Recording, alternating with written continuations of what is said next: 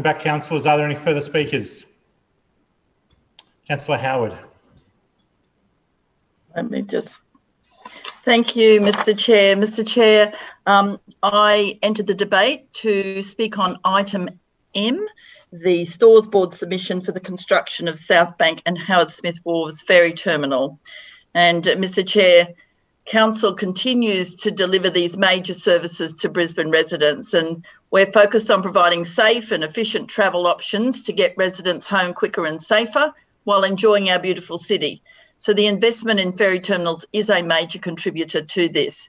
I'm very pleased this includes a brand new terminal at Howard Smith Wharves to enhance both lifestyle and transport offerings for the people of Brisbane as we emerge from COVID 19 and rediscover our fantastic alfresco dining scenes, outdoor gatherings, and relaxing with family and friends in the places that make this city so special. It also means improved active transport connectivity with a terrific link to the New Farm River Walk and complements a suite of new river initiatives that Council's rolling out. The new terminal will include bespoke features and finishes in harmony with the surrounding built form and the look and feel of this precinct. Upon commissioning, it will cater for cross river monohull services, but is built to also allow CityCats to berth in the future. The terminal includes a modified roof form to enable uninterrupted views right across the river. There's around 5 million passengers choose to travel by ferry or CityCat each year, so it's great that we are moving closer to construction of this important piece of transport infrastructure. This is all about providing more for residents to see and do, and it's just one of the many ways that Council's making the Brisbane of tomorrow even better than the Brisbane of today, and I commend it to the Chamber. Further speakers? Further speakers? Councillor Griffiths. Uh, thank you, Mr Chair. I just rise to um, speak on item G, uh, the sale of 161 Kerry Road, Archerfield uh, to an adjoining landowner. Uh, I just want to say uh, from the start that I won't be supporting this um, this proposal uh, in terms of there's a number of issues for that. Um, first of uh, my first concern is that this report is uh, secret and that um, there are sections here that we can't talk about and that really I believe the public should be able to know um, what's in this report. Um, this is a significant piece of land. It's um, it's prime real estate really, uh, and the um, the administration seems to be very interested in hiving it off, and I understand they'll, they'll make a significant amount of money on it. Um, but it is part of a waterway and flood corridor. Uh, and um, one of the issues uh, for my ward, and my ward is very large and includes the largest area of industrial land on the south side of Brisbane, is that many of the waterways can't be maintained because they are owned privately. And um, this then allows, this creates problems for other residents and also is a is a way then for weeds to spread uh, throughout the, um, the, the whole waterway corridor. So I, I think that is really questionable what's happening here.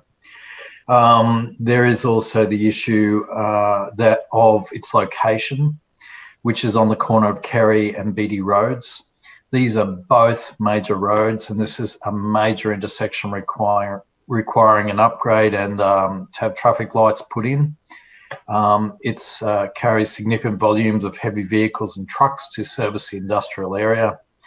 It's obviously adjacent to the Archerfield Airport, which is, has a growing industrial base on it.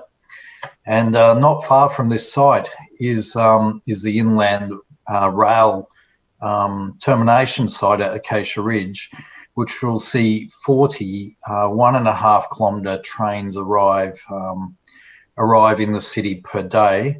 And that equates to 5,000 heavy vehicles. So my point is that um, uh, there's there's significant resources are required in the local community of Archerfield and Acacia Ridge, and um, I don't think um, this proposal really benefits anything that I can see other than taking away land that we have. So I won't be supporting it. Thank you. Further speakers? Further speakers? Councillor Murphy.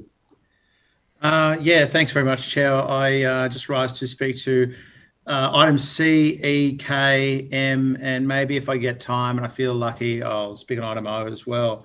Uh, firstly, to item C, the Carindale Library Um, as the Lord Mayor said, this is a much loved uh, library in the eastern suburbs. It's one of our busiest, uh, most popular libraries.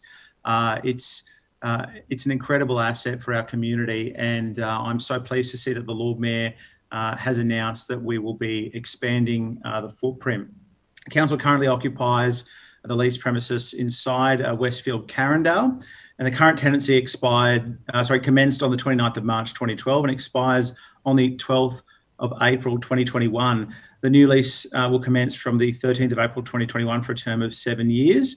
And the lessor, uh, which is Scentre Group or, or Westfield uh, Carindale, as most people know them, um, has agreed, uh, offered, offered an additional premises that will allow for expansion of the library uh, from an area of 1,500 uh, square metres to approximately, or just under 2,000 uh, square metres. So a significant extra chunk of real estate for our Carindale Library.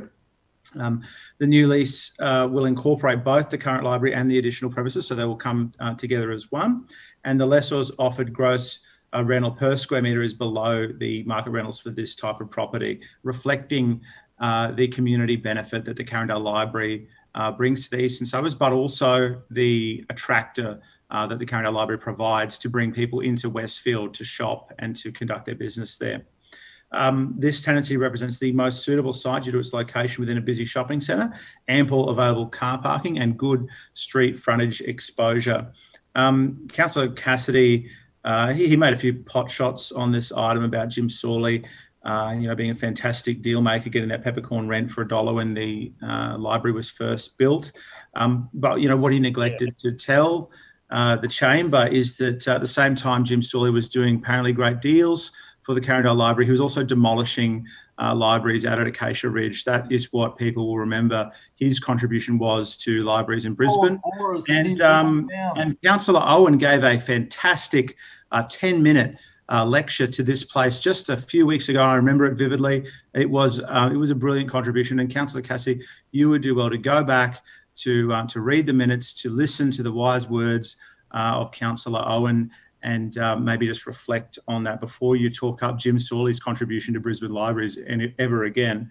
Um, now to item E, uh, contracts and tendering the bus licensing agreement on the 13th of July, Stores Board approved this short-term agreement with uh, JCDecaux. Now, council wasn't in a position to approach the market due to the impact of COVID-19 and um, the caretaker period for Brisbane City Council elections.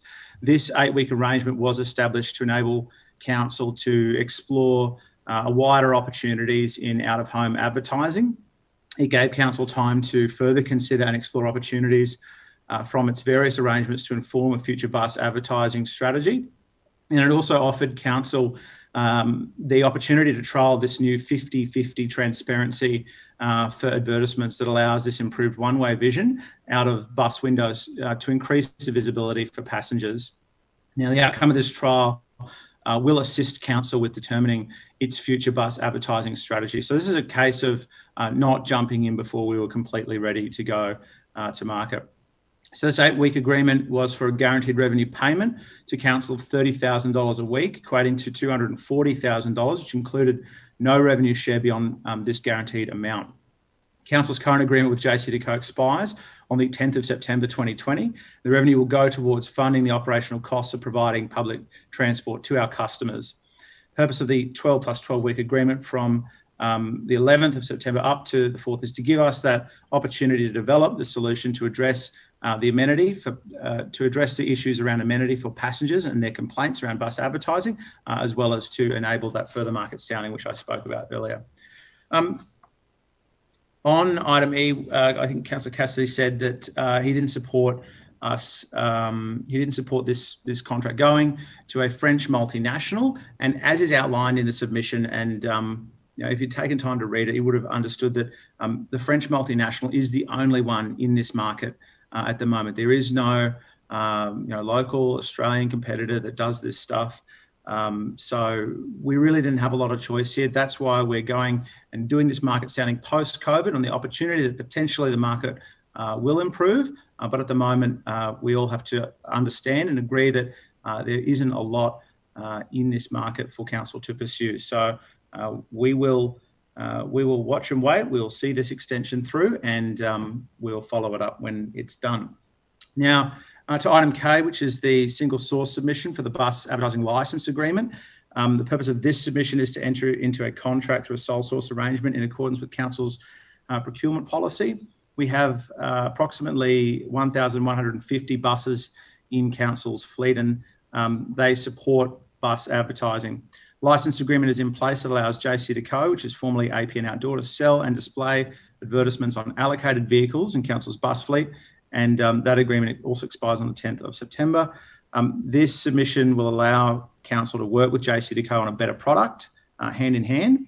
Purpose of this contract is to give Council that again that further opportunity to address um, the amenity. So uh, the reason for the sole source is just to assist council on this decision around bus advertising. So we've engaged Nexus Factor, a specialist advertising consultancy, to provide uh, a market report, and we anticipate that that will be back in uh, due course for us to commence uh, that market process, uh, hopefully a bit closer to the end of COVID.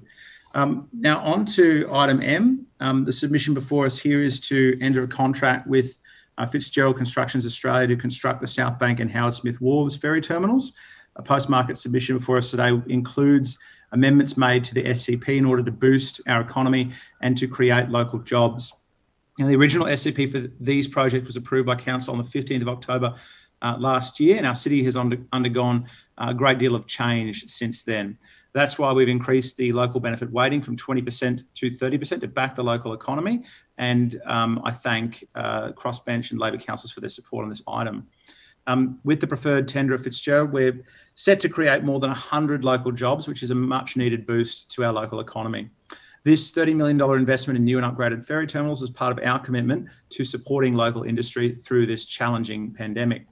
With more than 5.4 million people travelling by ferry every year, river based transport is a, a, major part of Brisbane's unique lifestyle experience. The awarding of uh, this tender supports the Lord Mayor's local buy procurement policy, which is getting businesses back on their feet and directly benefiting local employment opportunities. Local buy has been an immense success. Nearly 80% of procurement dollars are now spent locally in the 2019 20 financial year. And this administration is committed to ensuring um, that our terminals are world class and as efficient as possible. Both terminals will allow for dual berthing of CityCats and uh, our newly, newly, announced KittyCats, uh, with the Howard Smith Wharves terminal initially catering uh, for cross river services. Um, Fitzgerald Australia is a locally based team and they will contract up to 33 local suppliers from right here in Brisbane and Ipswich to fabricate the pontoons and the gangways for both of these terminals. This submission represents a critical step towards further enhancing our ferry network providing new lifestyle and leisure opportunities for people visiting two very popular precincts, the Howard Smith Wharves and South Bank. And it comes at a time when our local economy needs it most as we weather uh, the effects of coronavirus. In June, the Lord Mayor announced that this administration is investing 14.6 million to deliver new and upgraded ferry terminals. A ferry terminal at Howard Smith Wharves is a priority in order to support this busy precinct to ensure residents and visitors have easy access to what is fast becoming uh, one of Brisbane's most attractive destinations. At the same time, we're ensuring the South Bank terminal meets the needs of the precinct now and into the future. Both of these new terminals will transform our river's edge and be wonderful assets for resident, residents and visitors travel along our river with on-site work to begin early next year. Construction is expected to commence off-site immediately with an on-site presence at both locations due early next year, subject to weather and construction conditions. And then finally, just on item O, um, this is the uh, public business intelligence uh, system, otherwise known as um, NetBI, which is the Brisbane Transport Incident Management System, and it is coming to council uh, because to get a better deal from the supply, which is Brisbane based, we had to sign a longer contract. Uh, hence, it's here to council for full approval, and uh, I hope that all councils will be supporting uh, this very valuable system to provide instant supporting to Transport for Brisbane, contracted with a great local company. The other reason that they should support it is it's mandated by TransLink, so you kind of have to. Thanks very much, Chair. Further speakers? Further speakers?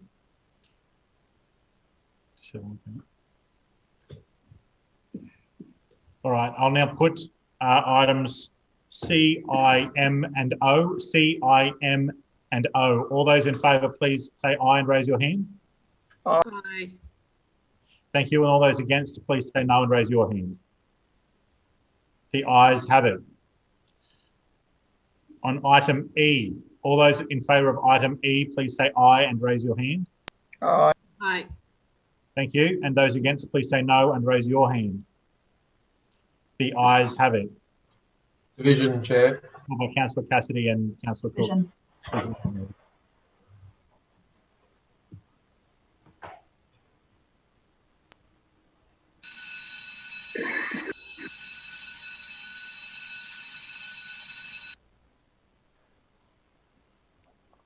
All those in favour of item E, please say aye, raise your hand and hold it, hold it there so that it may be counted.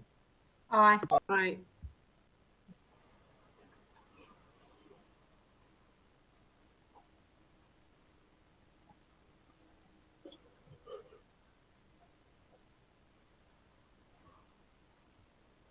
Thank you. And all those against, please say no, raise your hand and hold it there so that it may be counted.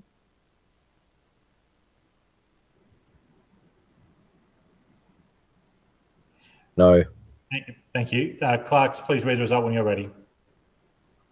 Mr Chair, the ayes have it, the voting being 20 in favour, one against and five abstentions. The ayes have it. On item K, all those in favour, please say aye and raise your hand. Aye. Thank you. And all those against, please say no and raise your hand. No. No. The ayes have it. Division. Division. Called by Councillor Johnston and Councillor Cassidy. Please ring the bells.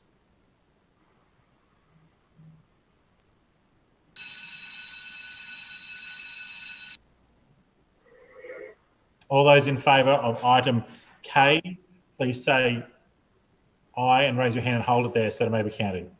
Aye.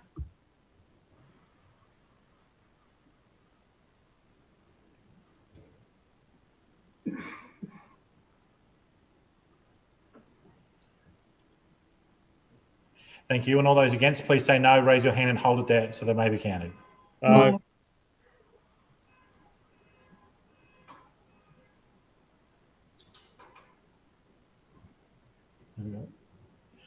Clerks, please read the result when you're ready. Mr Chair, the ayes have it, the voting being 19 in favour and seven against. The ayes have it. On item G, all those in favour, please say aye and raise your hand. Aye. Thank you. And all those against, please say no and raise your hand. No. The ayes have it. Division. Usually called by Councillor Johnston and Councillor Cassidy. Please ring the bells.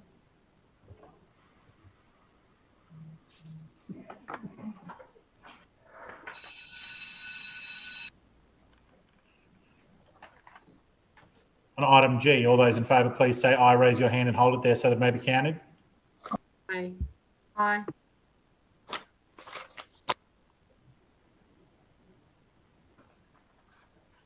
And those against, please say no, raise your hand and hold it there so that it may be counted.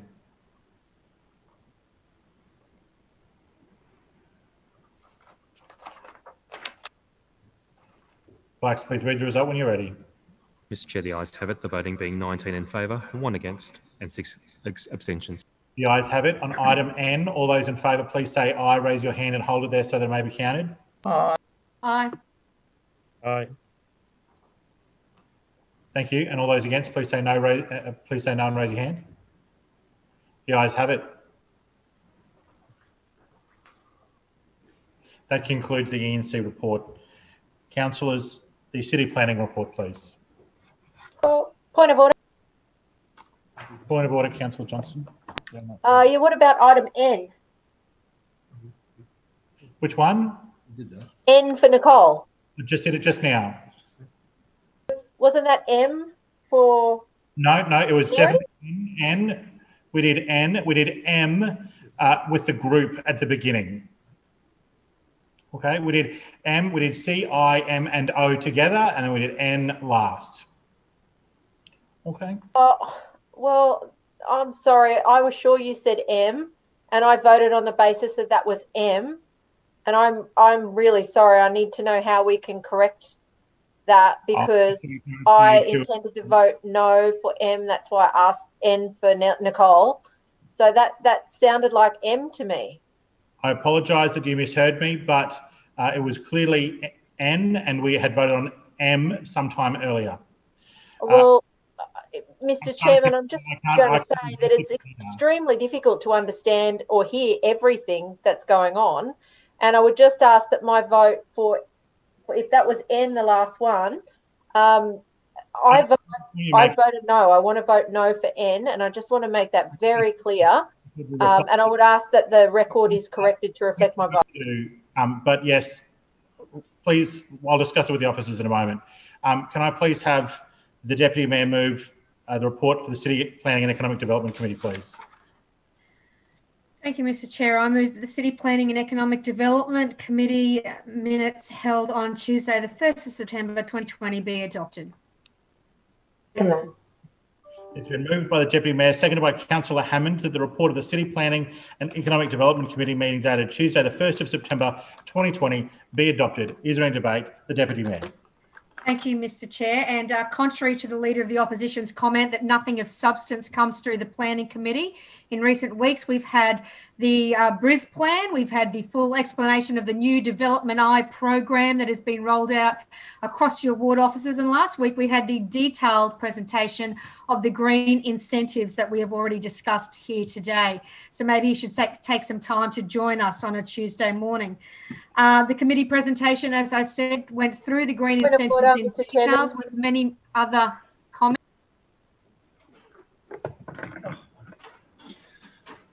Uh, Sorry, I'm just conscious the Point of chair's changing. I think there's a point of order, Councillor. Yeah, thank, thank you, Councillor Adam. Councillor Johnston, your point of order, please. Uh, yes, um, thank you, Mr. Deputy Chairman. Um, I seek leave to suspend standing orders uh, in order to allow me to move an urgency motion appointing uh, Councillor Cassidy to the Planning Committee. And I need a seconder. Oh, thanks, Councillor Griffith. It's been moved by Councillor Johnston, seconded by Councillor Griffith, that Councillor Cassidy be appointed to uh, the uh, Planning Committee. Uh, Councillor Johnston, do you have that uh, motion in an email? Can you send that? No, it's a, it's an urgency motion. That's all I've got.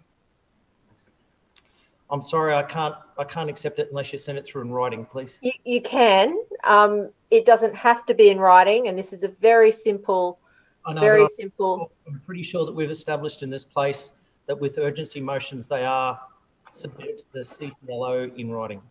That's that's not what the rules say, Mr. Deputy Chairman. They don't have to be in writing if they are uh, simple, and it's a genuine urgency motion.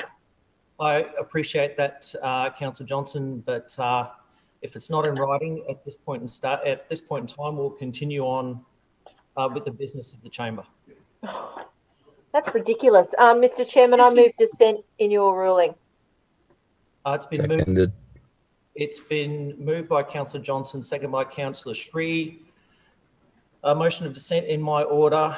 All those in favour, say aye. Aye. Aye. Against? I believe the noes have it. The ayes at it. Thank you. Uh, Councillor Adams. Thank you. uh, Point of order, Chair. Deputy Chair. Point of order, Councillor Sri.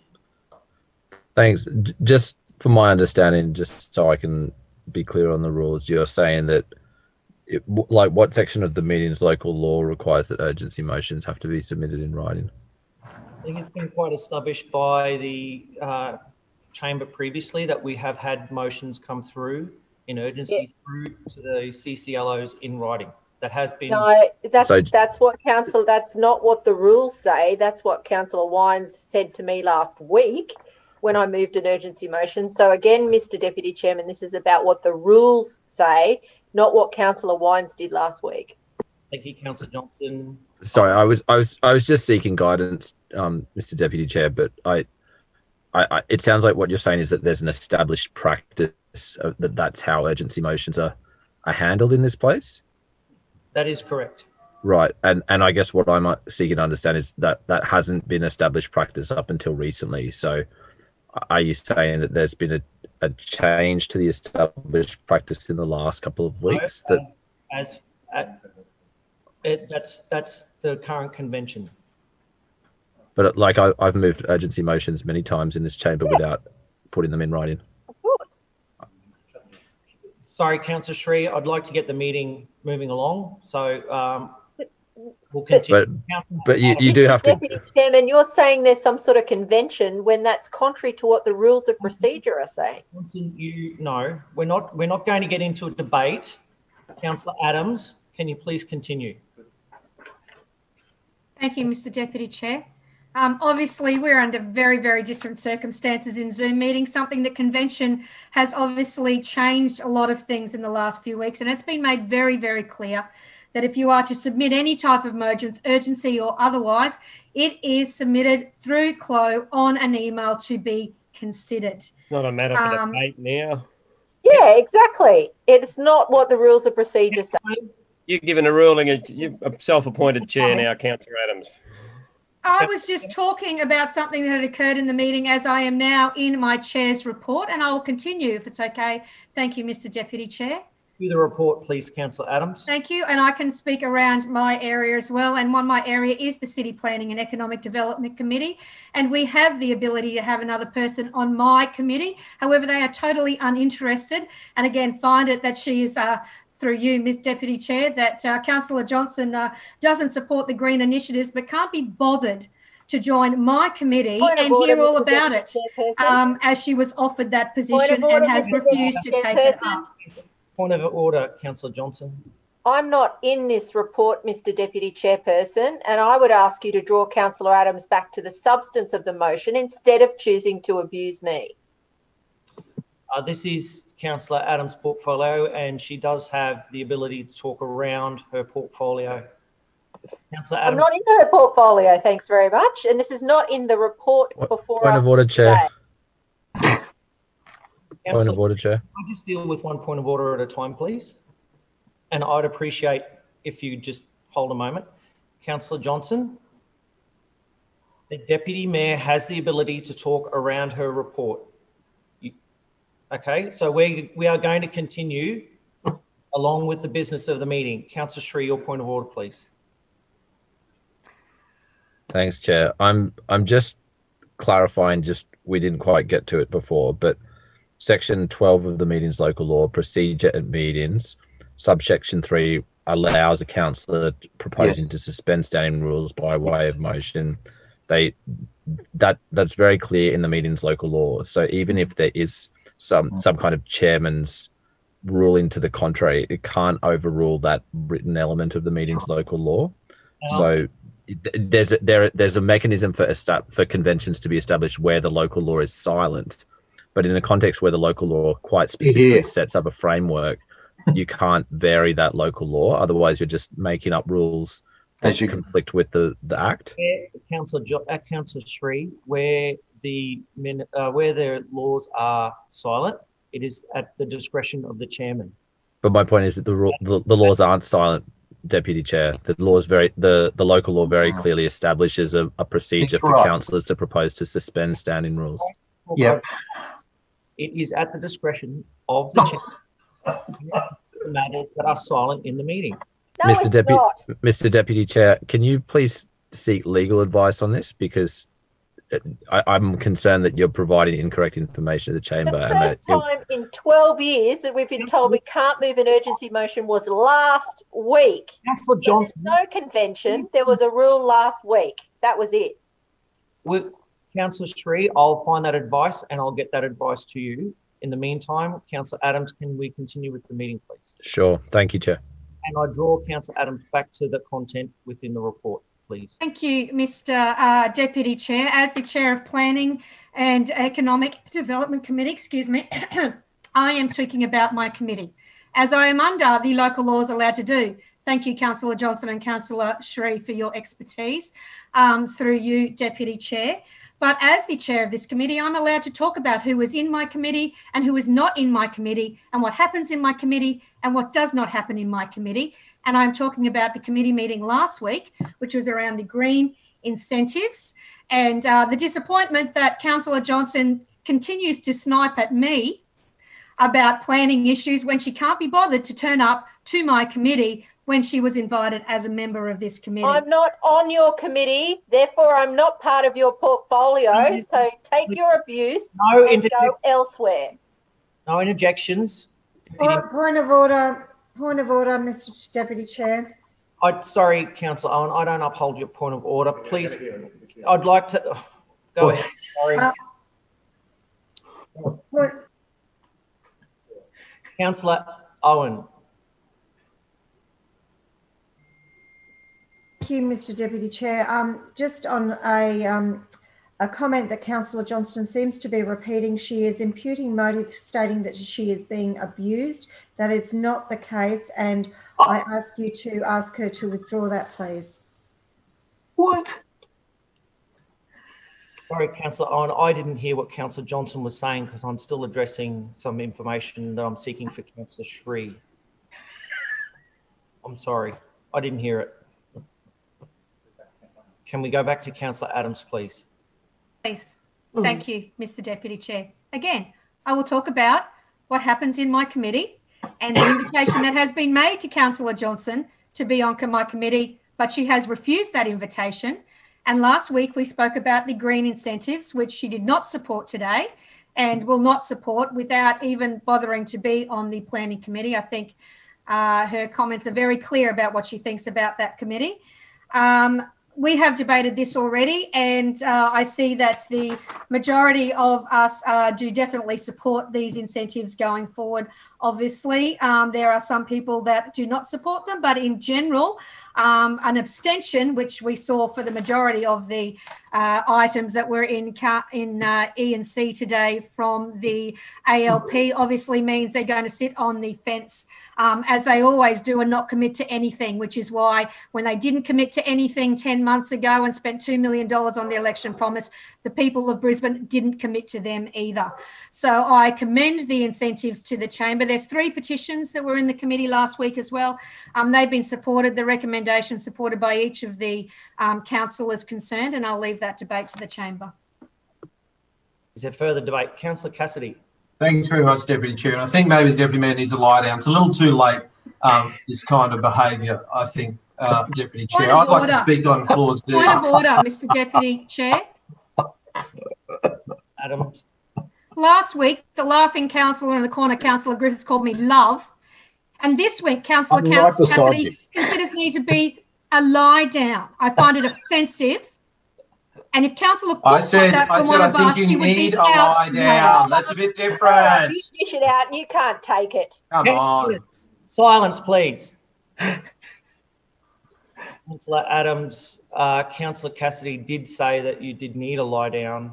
Um, And I find that offensive, Councillor, uh, Mr. Deputy Chair. And I ask he withdraw. Councillor Cassidy, would you care to withdraw the statement? Uh, sure, Chair. If you'd, uh, Deputy Chair, if you'd like me to, out of an abundance of caution, I'll withdraw the statement that the Deputy needs a lie down. Thank you. Uh, Councillor Cassidy, can you continue, please? Thank, thank you very much, Deputy Chair. I'd like to speak on clause uh, D, uh, a petition requesting council provide full support for ramp attack uh, to continue to operate in the industrial areas of Geebung, Virginia, and Zillmere. Uh, this uh, petition uh, makes it very clear that the community has a strong desire to see ramp attacks stay in our community. Uh, there was over 7,000 signatures on a change.org petition, uh, 500 supportive comments on that, and, and over 840 people signed this council petition that I initiated.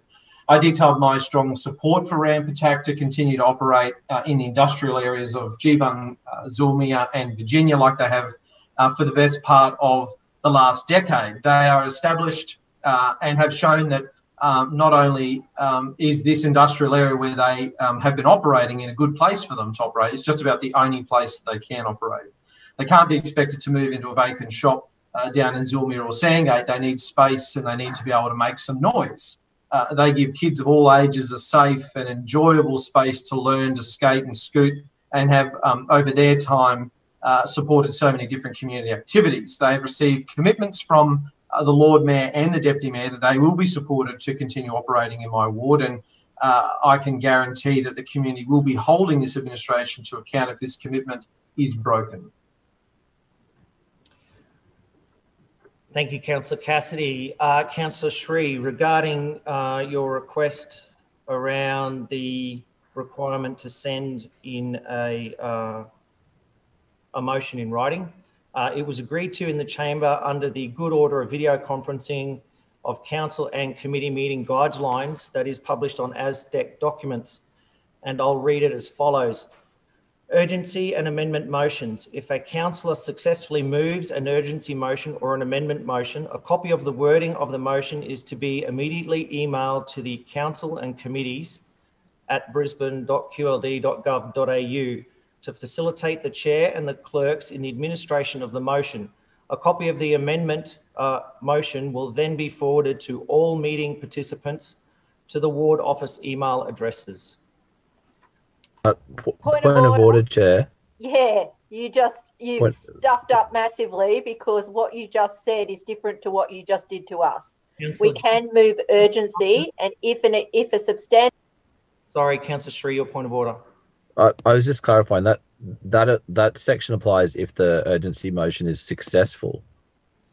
So my understanding would be that that's if an urgency motion is moved and then that urgency is successful in being established, then the text of the motion has to be sent through. If it's But but but the text of the urgency mo that that Definitely that would seem to be a nonsense because how, how can someone move an urgency motion urgently on the spot while also having it written up in it advance? reads as if a ca- if a councillor successfully moves. why you you wouldn't let me move it. That's the point. I wasn't able to move urgent. Is there any is there any further business? Any further debate? Point of order, Mr. Chairman. Point of order, Councillor Johnston. Mr. Chairman, in your own words, you have um, unlawfully refused to allow an urgency motion. Um, I'm seeking leave to suspend standing orders to move the urgency motion, which does not have to be in writing. It is only if that is successful that those good order um, rules you're referring to say it has to be in writing.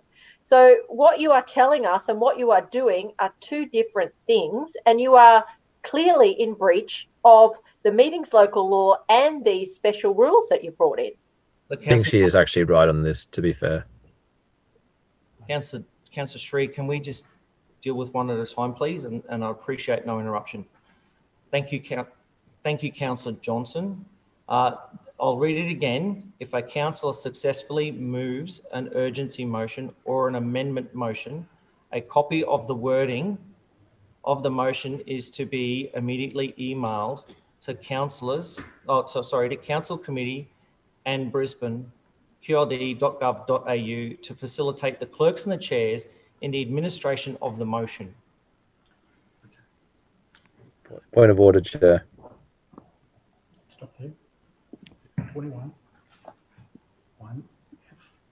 An act of disorder is to raise or call excessive point of order. Okay? Can I have that, please?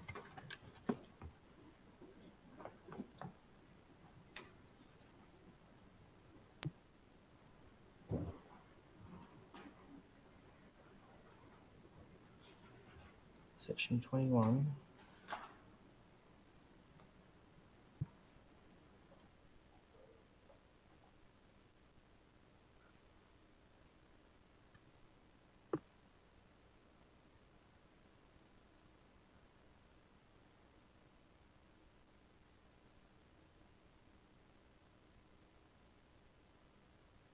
They're both doing.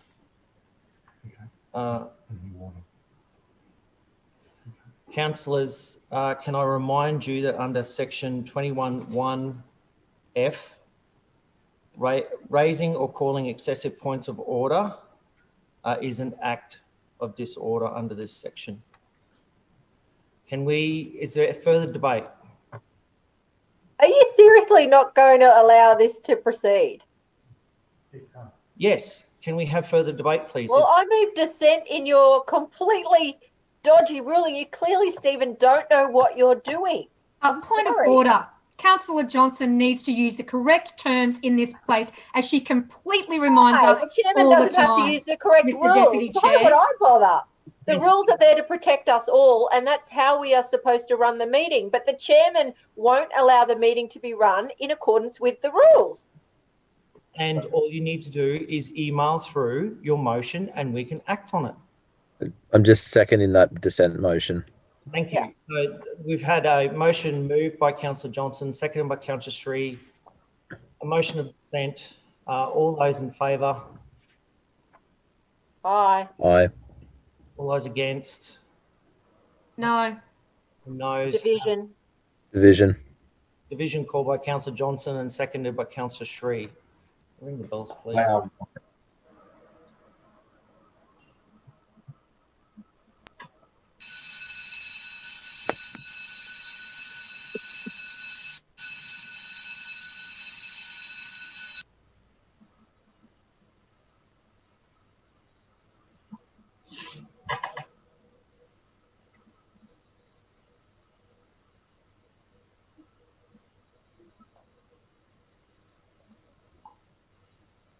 Uh, all those in favour of the motion, please raise your hand and hold it there to be counted, please.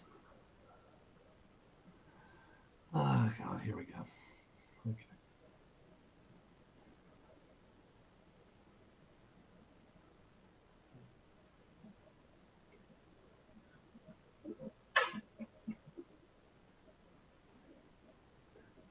All those against?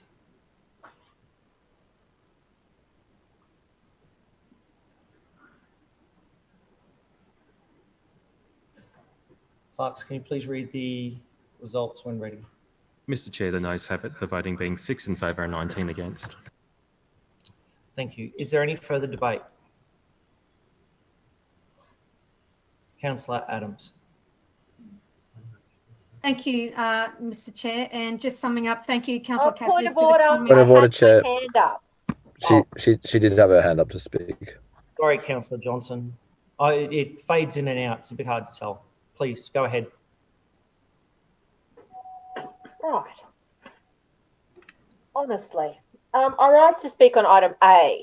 Um, as the chairperson of the City Planning and Economic Development Committee seemed to um, uh, not listen to what I said in the ENC debate, I thought I would put it on the record again uh, in this committee. Um, firstly, I do not support the, envir- uh, the incentives program as it has been set up by the LNP. Um, this was announced by the Lord Mayor on the 17th of June, and two months later, um, a scheme has been put into place. Um, we heard the Lord Mayor explain earlier today, or Councillor Adams, I'm not sure which one it was, but uh, we heard them explain earlier today that there'd been consultation with developers, um, and that consultation was extensive. Um, and I'm sure that it was over the last two months. There's been lots of lovely chats with the developers about how this council can subsidise uh, their uh, business arrangements. Um, but let me be clear whilst the idea here. Point of order, Mr Chair. Point of order, Deputy Chair. Point of order, Councillor Adams. Claim to be misrepresented. Noted. Thank you. Councillor Johnston.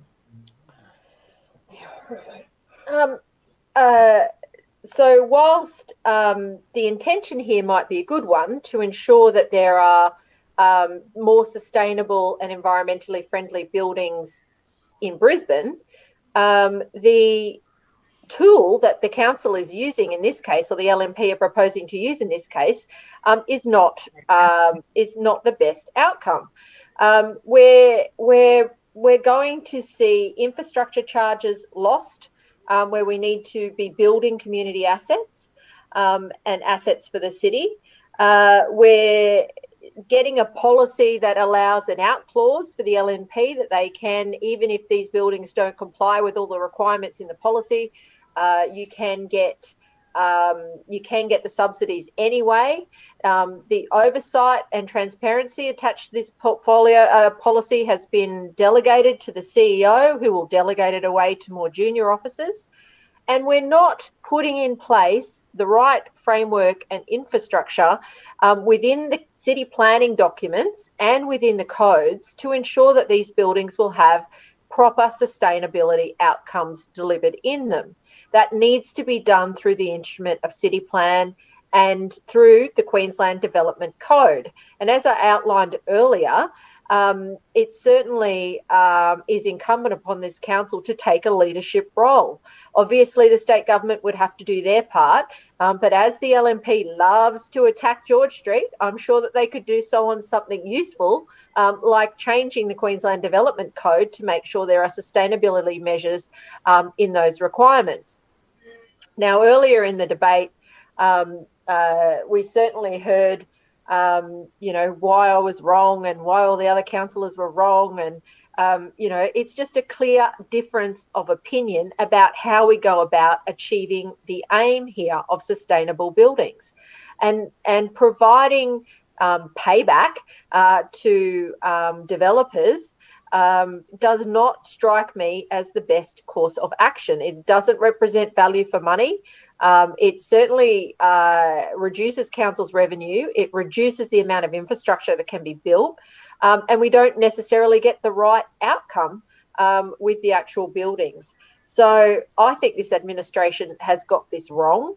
Um, it doesn't surprise me um, because uh, you know this administration has taken city planning in this um, council in the wrong direction. Um, one of the worst pieces of um, legislation or, or, bylaws that's come through this council in my 12 years has been City Plan 2014. Um, that was a week-long debate, and it, it's it's been a terrible outcome for our city. Um, this LNP administration brought in a whole range of new rules, and and it's only in the last year that they've started backflipping on some of those. Um, they have they are not taking city planning in the right direction in our city.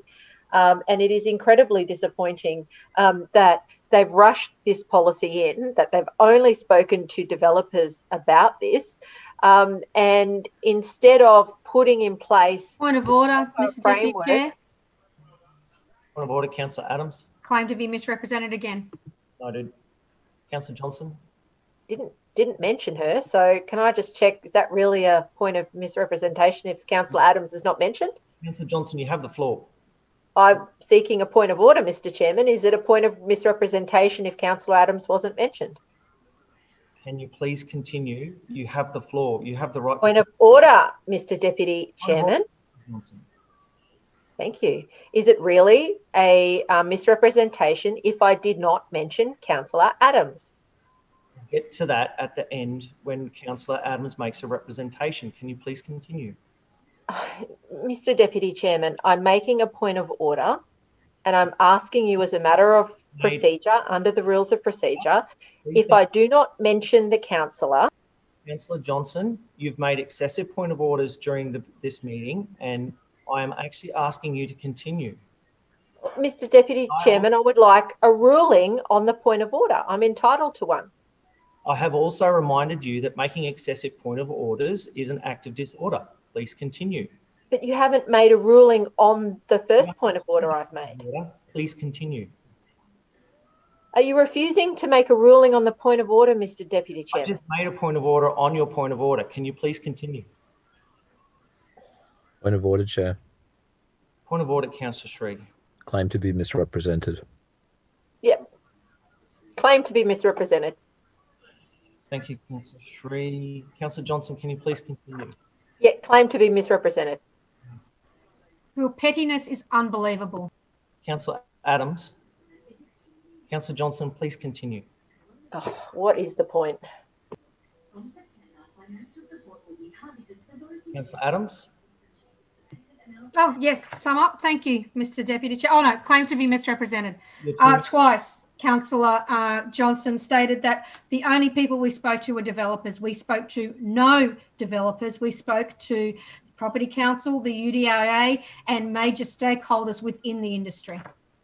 Thank you. Councillor Sri, your misrepresentation? No, that's fine. Thank you. Councillor Adams, wrap up. Thank you very much. What Um, about my misrepresentation? No, Councillor Councillor Johnston, I don't believe you've made excessive. pardon me. You've made excessive points of order and been quite disruptive through the meeting. You've been warned that excessive point of orders are an act of disorder. Councillor Adams, please continue. Thank you, Mr. Deputy Chair. Um, as I was saying, Councillor Cassidy um, uh, spoke to his petition, and yes, we have absolutely committed to supporting Ramp Attack uh, in any way we possibly can. This is a uh, a business, a sport and rec business in industrial, and I was involved ten years ago uh, when uh, long before Councillor Cassidy was in the area as well, uh, to support them in where they are at the moment, which is um, industrial uh, B, I think, when they first set up. Uh, the sport and rec in the industrial area. Uh, the area they had their application in for that they moved to recently was industrial C. And industrial C, as we know in this place, is for heavy industry. Uh, which is a restricted area uh, and not a lot of it in Brisbane, particularly around the Virginia area. Um, something we do uh, need to protect in certain areas to make sure we have the ability for those wanting to do industrial C so they don't impact specifically on residential areas. Uh, therefore, we were working through the development application and I did meet uh, with the ramp attack owners about how maybe not the most suitable site. Uh, another site came up, unfortunately, didn't um, eventuate. So we were working through this one to see what we could do. But before we continued, they withdrew the application. But uh, as other opportunities come up, yes, we will be supporting Ramp Attack and uh, we'd love to see them stay uh, in the northern suburbs where they are now because they do have a great following. And uh, as I said to them myself, as an XP teacher, more than supportive for all types of sport and rec, indoor, outdoor, and every other type you can think uh, to make sure the, the kids and the older, I know there's a lot of, of uh, uh, adults that enjoy Ramp Attack as well. Um, thank you, Mr. Deputy Chair. Thank you, Councillor Adams. Uh, councillors, as it's approaching nine o'clock, uh, the meeting will automatically stand adjourned unless we agree to continue the sitting. Is it the will of the council that this sitting of council proceed beyond 9 p.m.? All those in favour? Aye. Aye.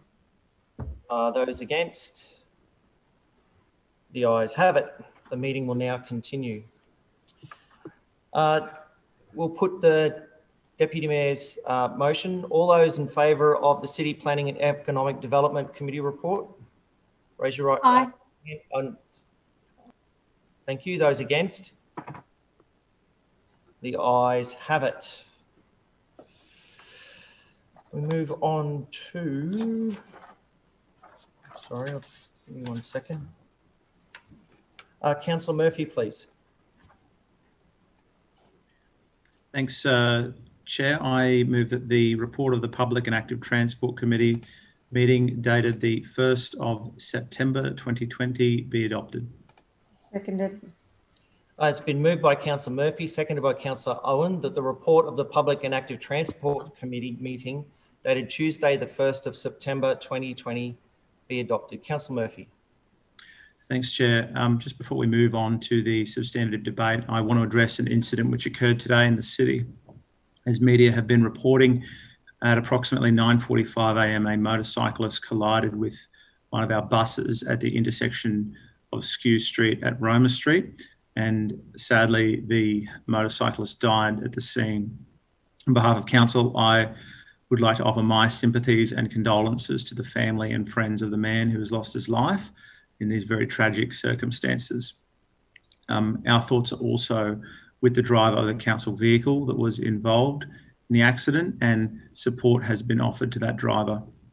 All our drivers are part of the Transport for Brisbane family, and when incidents like this occur, uh, I think we all feel it. We will await the outcome of the Queensland Police Service investigation into this death. And of course, we will act on any recommendations should they be made by the QPS or the coroner in due course. Now, Chair, um, last week's committee presentation was on Love to Ride Brisbane, which commenced last Tuesday. Um, before I begin, Councillor Sri inquired about the participation numbers of the program, and I will be addressing uh, those numbers throughout my report today. And I'm happy to provide that a copy to him as well if he's interested. So, uh, Love to Ride is a fantastic global change uh, behaviour program. 2020 marks the third instalment of Love to Ride Brisbane, which is organised by the Cycling Brisbane team here in Council. As in 2018 and 2019, this year Love to Ride Brisbane will run throughout the month of September. And it's a public participation program, and it's all about getting on your bike and encouraging others to do the same. It's a fun, free challenge to encourage workmates, friends, and family to experience the benefits of riding a bike. Last year, approximately 475,000 people participated across 12 countries. The program is workplace based and it uses peer support, encourages long term shifts in riding behaviour. It's open to anyone who lives or works in Brisbane. Workplaces can also register and compete to see who can get the most people riding bikes. Love to Ride highlights the health, environmental, and financial benefits of cycling, and the success of Love to Ride Brisbane is evident in the numbers and testimonials. In 2018, there were 2,327 participants from 221 organisations. 2019 saw an increase in participation, workplaces, and new riders. Last year, 2,858 participants from 253 organisations took part. That included 290 brand new riders, which is a terrific result. Collectively, um, Brisbane rode over 800,000 kilometres across 38,000 trips. That's the equivalent of going around the world 15 times. Rather than driving those kilometres, um, we've saved around 50,000 kilos of carbon from going into the atmosphere. And it also helped to reduce the number of cars on our roads. Of riding in the program, participants have said, I enjoy starting and finishing the day along the riverside. Uh, it's a great way to explore and to enjoy Brisbane. And I have City Cycle on my doorstep, and I love playing tour guide for my family from Perth. 99% of participants said that they would take part in the challenge again, and we are looking forward to welcoming them back this year. Love to Ride is a great way to explore Brisbane's many bikeways and shared pathways. Um, I have uh, some figures. Uh, so Atlanta in 2015 had 252 organisations and 1,846 people. Adelaide in 2015 had 183 organisations and uh, 1,869 people. Gold Coast had 110 organisations and 1,200 people. Um, but the number one city, or I, I, shouldn't say city, the number one state uh, for uh, Love to Ride in the world is actually Oregon. And in 2019, they had 809 organisations and uh, 11,308 people participate in Love to Ride. So um, Queensland, I think, has a long way to go to catch up to Oregon, but I think um, Brisbane is certainly up to the challenge of taking on Portland. I would love uh, to see us do that. Now, finally, uh, Chair, this week we heard um, some great porkies from the Labor state government uh, on the weekend. They've claimed that uh, there'll be a commercial pontoon delivered at Howard Smith Wharves before Christmas to get residents to Moreton Bay in 40 minutes. Of course, that is absolutely ludicrous. Uh, a commercial vessel's top speed is 24.9 knots. And you wouldn't even make it to the mouth of the Brisbane River in that time, let alone uh, make it all the way out to Moreton Bay. As usual, there's been uh, no practicality or feasibility studies behind this, and apparently 5.5 million will cover the cost of three uh, enormous commercial pontoons. Um, that, this has never been a priority. And let's not forget that um, Labor have voted against Howard Smith Wharves in this chamber in 2015, precinct which sees 100,000 visitors every day and has created more than 1,000 jobs.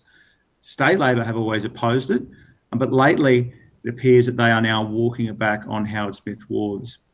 So, seven weeks from an election, we see another pipe dream. And as is typical of Labor, there's been no detailed design no development application, uh, no real plans, and no commercial application for what they're putting in. Um, meanwhile, this administration is committed to providing more than $12 million to deliver the new ferry terminal at Howard Smith Wharves to support our tourism industry and, of course, to ensure easy access to this public space. Our terminal is not a pipe dream, it's very real. And I thank uh, councillors for supporting it through the chamber today. I know administration councillors are looking forward to seeing it delivered uh, in a realistic time frame this term. Um, and with that, Chair, I will leave the debate to the chamber. Further speakers? Further speakers? I see none. Councillor Murphy. I'll now put the resolution. All those in favour say aye and raise your hand. And those against, please say no and raise your hand. The ayes have it. We'll move to the Infrastructure Committee report, please. Councillor McLaughlin. Thank you, Mr Chair. I move that the report of the Infrastructure Committee meeting held on Tuesday, the 1st of September 2020 be adopted. Seconded. It's been moved by councillor McLaughlin, seconded by councillor Matic that the report of the Infrastructure Committee meeting dated Tuesday, the 1st of September 2020 be adopted. Is there any debate? Councillor McLaughlin. I'll let the report stand. Thank you, Mr Chair. Further speakers? Uh, councillor Griffiths. Councillor Griffiths?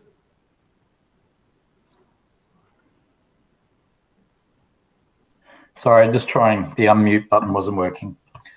Um, thank you, Mr. Chairman. I just wanted to speak uh, just uh, on the petition that went through last week and is coming before council this week in relation to um, a resident's petition that they want to preserve Northgate Road Arbour by stopping oversized vehicles using Northgate Road, Northgate as a thoroughfare between Sandgate and Toombul Roads. Um, look, we thought the response was fairly weak uh, and really didn't didn't signal that they were going to be doing anything for residents. Um, this seems to have been an ongoing problem for a road that um, that does carry heavy traffic, but that is well loved by locals and who are keen to preserve the arbour along the road. So um, uh, we won't be uh, won't be supporting the recommendation here, and would ask that the voters take taken seriatim for item B. Thank you. Item taken seriatim for voting. Yes, thank you. Yep. Further speakers? Councillor Sri. Thanks, Chair. I just wanted to speak um, briefly about the LATM program, which is the, the subject of this committee presentation. Um, I just wanted to highlight for particularly the Lord Mayor, if he's still in the chamber, but also draw to the attention of Councillor Murphy as well as Councillor McLaughlin, the fact that the design and delivery costs for these LATM projects are now very, very high to the point where um, a lot of residents I talk to about how expensive speed bumps are, they're just genuinely flabbergasted that it can cost upwards of sixty, seventy thousand dollars simply to do design work on these projects. Um, so I'm, I'm not offering that as a specific criticism of any individual chair or councillor, but just want to acknowledge that there's a systemic problem here, where in my ward I probably have about twenty streets that I could consider quite high priorities for LATM uh, LATM work, and another thirty or forty streets that I think will need LATM work over the coming few years. Um, but the council is only doing half a dozen LATM projects per year, which is clearly not going to be keeping up with demand. So um, I don't want to labour the point right now. I realise it's late, but there is a broader issue here, and maybe it would be good for Councillor McLaughlin and Councillor Murphy to put their heads together about how they can bring down the costs of those projects, and particularly the design costs, so that it becomes feasible to do a few more of these each year. Obviously, I'm of the view that we should be increasing funding for these LATM projects and decreasing our funding for some of the major road widening and, and infrastructure widening uh, and intersection widening projects. But um, yeah, re- regardless of whether we can find more money to put into this program, I think the fact that such uh, essentially small pieces of infrastructure are now costing close to $100,000 each to deliver is is clearly a problem um, and I think raises serious qu- questions about how we're administering this project and I think there needs to be a rethinking of the the entire program in order to bring down those costs because this isn't viable. Further speakers?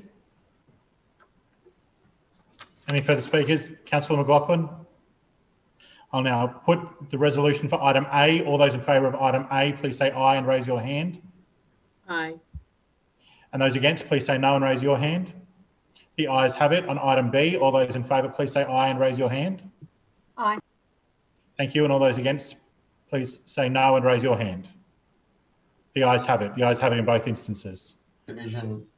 Division called by Councillor Cassidy and Councillor Strunk. Please ring the bells.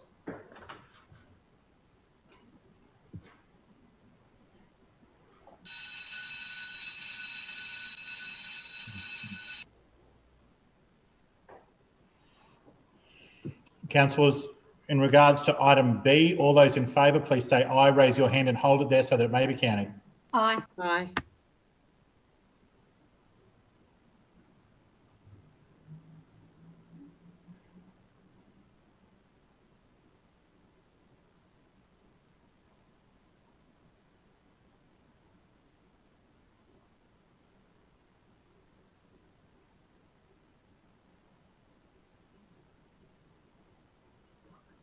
You right? Thank you. And all those against, please say no and raise your hand and hold it there. So counted. No.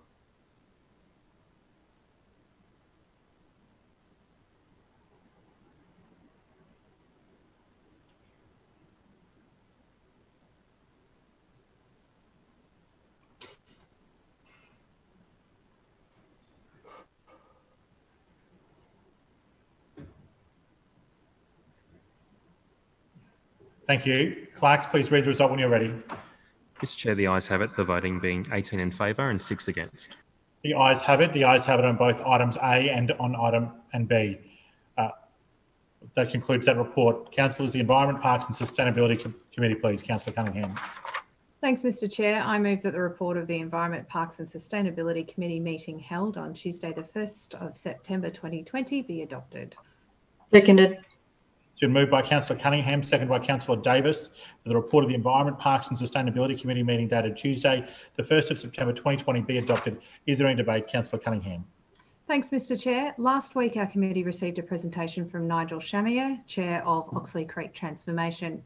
As many councillors will know, the project turns 20 kilometres of Oxley Creek corridor into a world-class green destination at a cost of $20 million over 20, oh, uh, sorry, $100 million over 20 years. It's getting late. I recently updated the chamber on the new Warril Parkland at Larapinta, the first major project to be completed. Nigel commented on estimated attendance figures with thousands of visitors in the first few weeks. I want to thank the Oxley Creek Transformation Board and staff for their outstanding work so far. The committee also had uh, one petition requesting council designate land at the corner of Beaudesert Road and Evans Road, Moorooka as park, and I'll leave the rest to the chamber. Further speakers? Councillor Griffiths. Yep, on. Um, yes, thank you, Mr. Chair. I'll be really quick, but um, the petition that went through this week um, had the support of over 800 residents, um, and uh, it's about turning some road reserve land that's owned by TMR uh, into parkland. I think this is setting a precedent for the certainly for many people in the city. So uh, I was glad to see that the administration actually supported this, and I um, welcome Councillor Cunningham uh, being open to that.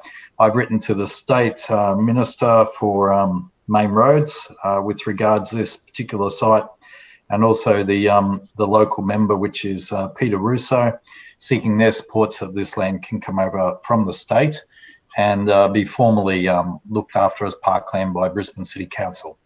I have a history group and residents who are keen to name the site and to do a history project on the land. Thank you. Further speakers? Councillor Johnston. Uh, yes, I just rise to speak on item A, the Oxley Creek Transformation uh, Project. Um, a very significant uh, proportion of the Oxley Creek Transformation Project is now happening within Tennyson Ward. Um, my ward boundaries were amended at the um, recent council election, and uh, the new southern boundary is the um, uh, Ipswich motorway. Um, and that brings a very uh, additional significant portion of the project into uh, Tennyson Ward. We are yet to see any of the benefits of the Oxley Creek Transformation Project in Tennyson Ward. Uh, to date, there has been one public consultation session uh, last year in um, uh, the Graceville Riverside Parklands at the boat park.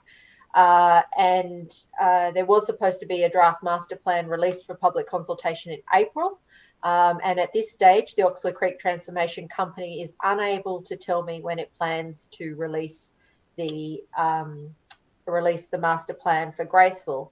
I asked, I rang and asked them last week after I saw the matter come through our committee. Um, there are also some issues, I think, uh, with what's happening um, with respect to this uh, project at the moment. And it appears that they've built some very lovely um, play equipment um, in uh, a couple of locations. Um, but as I feared when this project was, was first being um, consulted and developed, um, nothing has been done, to my knowledge, to improve the health of the waterway corridor itself. Uh, and uh, we don't see the environmental plan that was one of the six key projects identified uh, delivered. Um, and certainly, uh, we're not seeing uh, necessarily any uh, projects to improve the um, the health of the corridor. I understand there have been a few tree planting projects in certain places, but that certainly doesn't go far enough. In in my ward, it's still the bush care, the volunteer bush care groups that are doing all the hard work. Um, equally, we're not seeing the Greenway project um, progressing, uh, and that is unfortunate. Um, the area that I raised with Councillor Marx now, I don't know, two weeks ago, three weeks ago, um, to be fixed. Still haven't heard back from her, and she says, "Oh, only you only told me a few days ago." Well, it's been weeks now, and I haven't heard back. Um, you know, that's part of this track area. And at the moment, it's dangerous. People were hurt. Um, bush carers were hurt walking in it. So, you know, it strikes me that um, at this point, the Oxley Creek transformation project really hasn't uh, delivered on what it what it's promised. Um, and the big problem remains as it did then, and I think now it's probably fully understood by Mr. Chamier and his team um, that council only owns about a third of the land along Oxley Creek. A third of it is privately owned, and a third of it is owned by the state government. And uh, the idea that somehow there'll be a continuous, um, you know, greenway all the way along there, I think, um, seems quite remote. Um, I'm really disappointed that uh, that we haven't seen anything further on the Graceville project. It was not one of the six priority projects, but for some reason, which is unclear to me, they decided to move that one forward. I think that's probably because they had the DA or the master plans behind the scenes ready. I'm aware, for example, that um, even prior to the public consultation day in November last year, um, the Oxley Creek Transformation Company took their plans to uh, the city planning team and had a pre lodgement meeting to discuss what they wanted to do. That happened before they did any public consultation. Um, and, you know, it's really disappointing to see they're pushing a particular outcome uh, down there. Um, and certainly, um, I know my residents gave a lot of feedback about that, what they wanted. Um, there is a huge uh, demand. Um, I still have the canoeing club in shipping containers. When part of Ken Fletcher Park fell into the river, which council's not bothered to fix, um, the canoeing club lost their home. And uh, for the past four, probably, yeah, good four years, maybe five years, they've been in a shipping container, or three shipping containers, in fact. Um, we just don't have facilities. Um, and we've got a pontoon that you can barely fit a boat down. We've got people who illegally fish off a pontoon that disabled children use. Um, we've got a boat ramp that's covered in mud that's just not usable. And if even if you could get your boat down there, there's a locked gate rail at the top end of the car park, so you can't actually drive your boat down there. Um, you know, this council has ignored all of my requests um, with respect to supporting the Sea Scouts and sailability and improving the facilities down there. And um, we're still waiting to see what might come out of this uh, consultation uh, project. Um, so, to date, to my knowledge, they've received about $15 million in, in council funding. Um, and I'm certainly calling on them uh, to provide a clear time frame um, for the release of uh, the release of the Graceville Riverside Parklands uh, master plan. I note that they asked to see me on a very specific date, um, and I think that's the 19th of October. And I'll just say publicly uh, to uh, the chairperson, she's very new, there's a state election a week later. If you're thinking about putting out any public consultation in the middle of the state election campaign, I would say that that is a terrible community outcome it will be lost in the sea of uh, political materials that is going out. Um, so I certainly hope um, that uh, on the day that someone comes to see me, I'm not told there's a flyer going out in people's letterboxes in that same week because that's how it's worked previously. Um, and to do so in the middle of a state election campaign would be um, certainly not good practice. Um, it, it's not the right time to be putting out public uh, information about an important project. um, that I just hope council listens to what uh, residents want down there. I hope they don't over commercialise uh, the site. It's um, been a, a, concern so far that I've raised directly with uh, the OCT team um, that we don't want big function centres and we don't want restaurants and you know we we we have shops um, you know everywhere nearby and they are all struggling. Uh, so we want to see a good community facilities outcome here. We want to see upgraded um, parkland facilities. Um, we want to see the health and the mouth of the um, creek addressed. Um, and we want to see um, all of the different water based activities that are supported in this area have an investment in those community facilities, um, not necessarily what council wants to do. And again, you know, it's it's disappointing when you go and look at the files and to all the new councillors i'll tell you it's a very interesting process. But when you go and look at the files and you find out that someone's taken their plans uh, to the council da team before they've even had a discussion with the community it, it kind of indicates the fix is in. Um, so you know i just as we haven't seen the master plan and it's now six months overdue i hope it's coming soon. Further speakers Further speakers? Councillor Cunningham. Thanks, Mr Chair. Um, and just one quick thing to say, Mr Chair, um, through to Councillor Johnston, through you. I may be a new councillor, but I do read the committee reports, and she would do well to read the committee report too, because point 11 says that um, we will be doing online stakeholder and community engagement program in late 2020. So I'll leave it at that. Thanks. I'm going to put the resolution. All those in favour, please say aye and raise your hand. Aye. Aye. Thank you. And all those against, please say no and raise your hand. The ayes have it. Councillors, the City Standards Community Health and Safety Committee report, please. Councillor Marx.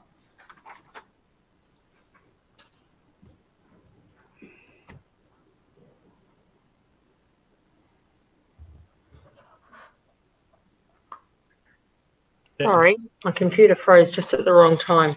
Yeah. Uh, Mr Chair, I move that the report of the City Standards Community Health and Safety Committee meeting held on Tuesday, the 1st of September 2020 be adopted. Seconded. Moved by Councillor Marx, seconded by Councillor Toomey, the report of the City Standards Community Health and Safety Committee meeting dated Tuesday, the 1st of September 2020 be adopted. Is there any debate? Councillor Marx. Yeah, thank you, Mr. Chair. Just briefly before I get to the report, I just want to say thank you to um, all the councillors who took up my offer of a ward visit. Um, I managed to visit Pullenvale, Tennyson, The Gap, Forest Lake, The Gabba, Walter Taylor, McDowall, Moorooka, Enoggera, Doboy, Hamilton, Northgate, Jamboree and Coorparoo. And I thank you all for taking the time to show me around your local areas. Also, I want to quickly thank all the officers who have been very um, good in spending some time with me and allowing me to go out on the road with them. I spent some time with the urban amenities team looking at the bus stop cleaning, the drain cleaning, the street sweepers, and the sign repairs. I've made visit two visits now to the Story Bridge, been to the Willawong tra- uh, Chandler transfer stations, um, been down to Trade Coast, Bracalba Quarry, Mount Coot-tha Botanic Gardens, and a waste removal truck delivery. So um, I want to thank everyone for taking the time to walk me all through the portfolio, and we have more visits to come. Um, getting onto the report, there is a committee presentation that we had with our ever lovely Holly and Emmy. Unfortunately, it was a Zoom meeting, so no one was able to see Holly and Emmy other than the council staff that were in the room at the time, and they were quite delighted to see the dogs. Um, and there's two petitions which I'm happy to leave to the debate for the chamber. Further speakers? Yes. Councillor Cumming? Yes, I, I refer to uh, item B, the petition requesting the council provide Brisbane homes with an in-home kitchen caddy and large compost bin that is collected weekly through the provision of a compost collection service. Uh, this is uh, an important petition. It's uh, calls for the implementation of a FOGO service for food organics and garden organics. Currently in Brisbane, it's estimated that there is 80,000 tonnes of FOGO going into landfill each year. As this waste decomposes, methane gas is released, which is one of the worst greenhouse gases in the in the world. Many other councils in Australia are offering this service or a similar service now. For example, I did a Google search and there was an excellent service run by Launceston City Council and uh, Ipswich Council is starting to run a service now too. This administration is falling behind the pack. They in their response they refer to love food, hate waste. Uh, however, when I looked at the budget for this year, love uh, food, hate waste has been scrapped uh, as by the administration. So, in response to a suggested new initiative, they're referring to an old program that's been scrapped and no longer being funded. Composting hubs are not convenient to the average Brisbane resident. Most wards have only one hub, so you have to drive across a couple of suburbs to drop off your scraps. Some wards have none at all. Uh, it's a bit the, the administration doesn't seem to know how many community composting hubs there are in Brisbane. The the response says there are more than 20 community composting hubs throughout Brisbane. Well, how many is there? Is there 21 or 31 or you know how, how could they not know? How could they not know? If it's an important issue, how could you not know how many com- community composting hubs there are in Brisbane?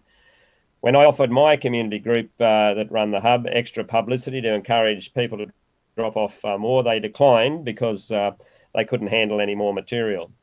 Uh, the compost rebate program is old hat in my view. I can recall such a service being offered about 20 years ago by the Soorley administration, and despite free delivery from a service club, it never really took off. And this, and I don't think this program will be any different.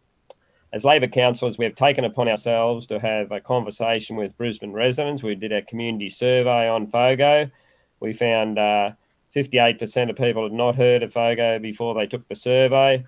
46% said they composted at home. 5% only use a composting hub, and 47% don't do either that does indicate that composting hubs just aren't a viable option for the vast majority of people here in Brisbane, and they won't reduce in any significant way the 80,000 tonnes of organic waste that is going into landfill. 98% of people think we should start a FOGO service here in Brisbane, and 95% of people would use that service if it was available. The top five items being put in the general bin that people would put into a FOGO bin include fruit and vegetable scraps at 91%, tea bags and coffee grinds at 80%, eggshells at 78%, weeds at 76%, and grass clippings at 76%. So people understand that this service will be a good thing to help reduce the amount of organic waste going into the general waste stream. 93% believe a FOGO bin will reduce the general waste that their household produces. This is a very clear indication that the people of Brisbane want a FOGO service. We'll be voting against this inadequate response from the administration to this petition. Further speaking, Councillor Strunk. Uh, yes, Chair. Before I begin, could we we ask for items B and C to be taken seriatim for voting purposes? Together? Uh, together, I think is fine. A will be voted on, and then B and C seriatim together. Yeah. Um, listen, I'm speaking uh, on clause uh, C, the petition uh, asking for the curbside collection uh, to be reinstated right across Brisbane um, by 5,421 uh, residents, which is uh, a very sizable petition, um, probably one of the biggest that we've had in this city for some time. Um, it's disappointing in reading through the um, uh, recommendation um, because it's really all about it's all about uh, money. Uh, it's not about service, and the service that um, the Brisbane City Council uh, residents have been receiving for the last almost 20 years um, has been um, suspended for the last uh, financial year and two years forward uh, at this stage. Um, what's so disappointing is that with a $3.2 billion budget, Mr. Chair, we couldn't find savings to let this very important service go ahead over the next uh, uh, two years and and actually finish the job for the last year. That's really disappointing. And of course, um, the other the other thing, of course, is they're uh, telling people that the Good Neighbor Cleanup uh, program or scheme is available, um, and uh, and we know that we've had problems with that. Um, you only have to look at uh, what was in the Quans today. Um, so we really, on this side, we uh, on this side, we're, we're not certainly in favor of the recommendation because we believe that this Brisbane City Council has not done what they are were contracted to do for the rates paid last year by residents and um, and they should be able to find savings going forward over the next two years to reinstate this uh, valuable service. Uh, thank you, Chair. Further speakers? Councillor Allan. Uh, Thank you, Mr Chair. I'll just uh, quickly join the debate on, uh, on item C, um, the uh, reinstatement of the curbside collection. Just uh, a bit of a trip back down uh, memory lane. Um, When the decision was made in the uh, June budget to postpone the curbside collection uh, for two years, um, it was not an easy decision. We recognised that there would be a cross section of the community who wouldn't be uh, be happy with the postponement, but it was made under um, obviously difficult uh, financial circumstances. We needed to take a responsible stance on the budget, and one of the uh, areas where we felt we could uh, make some savings was to postpone this service for a couple of years.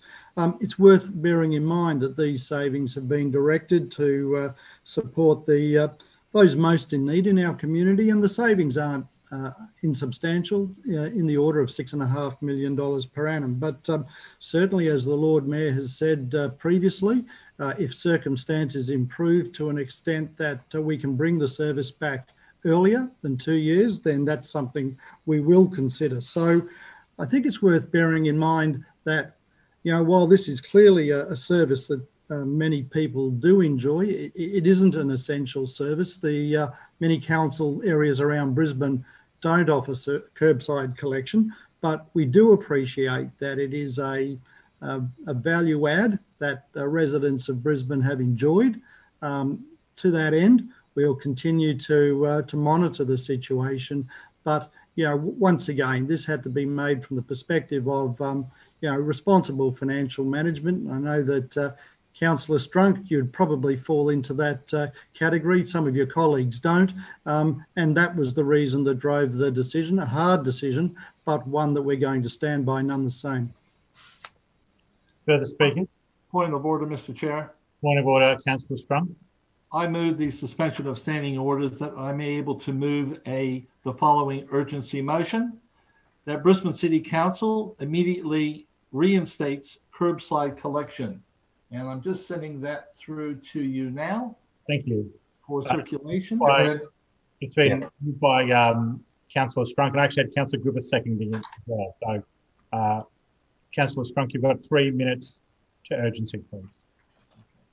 Mr. Chairman, this is a matter of, urgency if we are to address the excess growth of illegal dumping that is occurring right across Brisbane. Residents shouldn't have to put up with unwanted items in front of homes in their streets or in public green space or along roadsides and or in informal parklands. This matter is urgent because if we delay it any longer, the suspend the suspending of the curbside collection um, for another two years, um, not just the 56 suburbs that were affected uh, last year that weren't collected, but the more than 180 suburbs going forward. Mr. Chairman, on the cleanup last year, one of our litter teams, clean, clean, uh, cleaning, cleanup group, literally found enough furniture to furnish a townhouse uh, alongside the underbrush of Rudd Street, Oxley. Lord Mayor, through you, Chair, you should take up you should take up a good story. You should take up the good story of the clean. Lord, sorry, I'm getting a bit tired. Uh, Lord Mayor, um, it is it's the case that you um, always go on about uh, clean green city, right? Che- talk is cheap, and you should complete last year's first, and then reinstate the next two years going forward. This valuable service, which the residents of Brisbane have grown to depend on, is urgently needed because there is now and into the future, there will be more people moving, unfortunately, because of financial circumstances due to COVID 19. And this inevitably, will cause more dumping. It is urgent because the Good Neighbor program isn't up to the job. And you only have to look at the quants today to see that the 1,098 who have applied, only 661 have been approved and 639 have been completed. That means 40% have missed out and the consequences are evident. And, and if we don't urgently deal with this, our city will suffer. We have heard from residents that they, uh, that they didn't qualify, and many uh, do not have the ability to be able to undertake or to be able to uh, take the um, unwanted items uh, from their uh, from their houses to the uh, resource centers. And so I ask that once again that we uh, undertake curbside collection Councillor and we Strunk, call upon expired. Brisbane City Council to reinstate the collection. Thank you, Chair. Your time has expired. I'll now put the resolution on the matter of urgency. All those in favour of urgency, please say aye and raise your hand. Aye. Aye. Thank you. And all those against, please say no and raise your hand. No. The noes have it. Division. Division. Councillor Cassidy, Councillor Strunk, please ring the bells.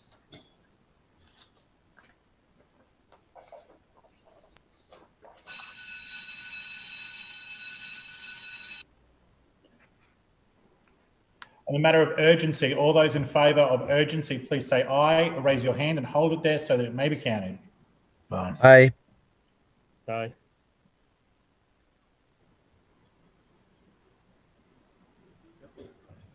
Thank you. And those against, please say no, raise your hand and hold it there so that it may be counted. No.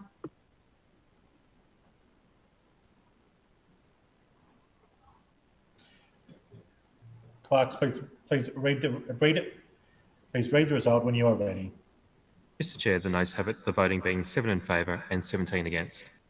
The noes have it. We'll return to the substantive motion. Are there any further speakers? Councillor Johnston.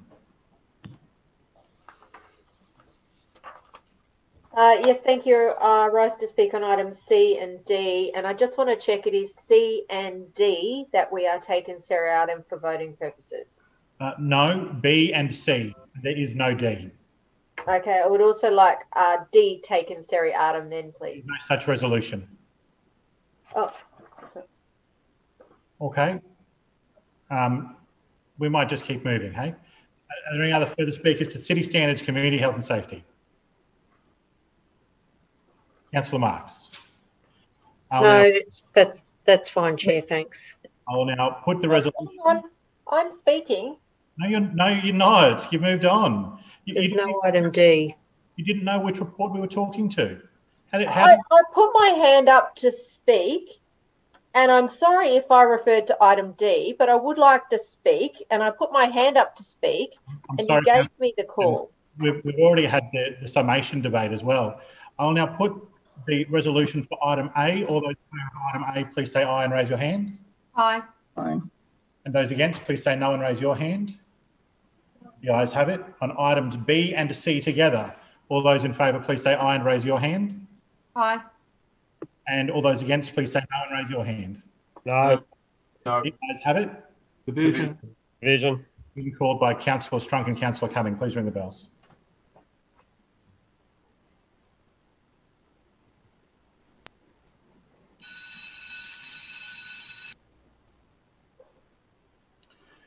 All those in favour of items B and C, please say aye and raise your hand and hold it there so that it may be counted. Aye. Aye.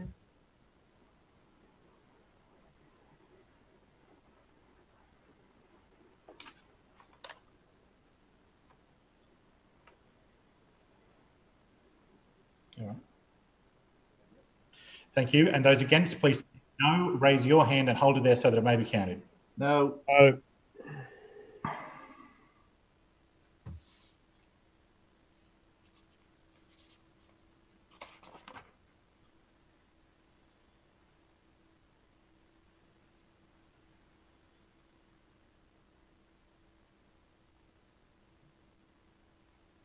Clerks, please read the result when you're ready.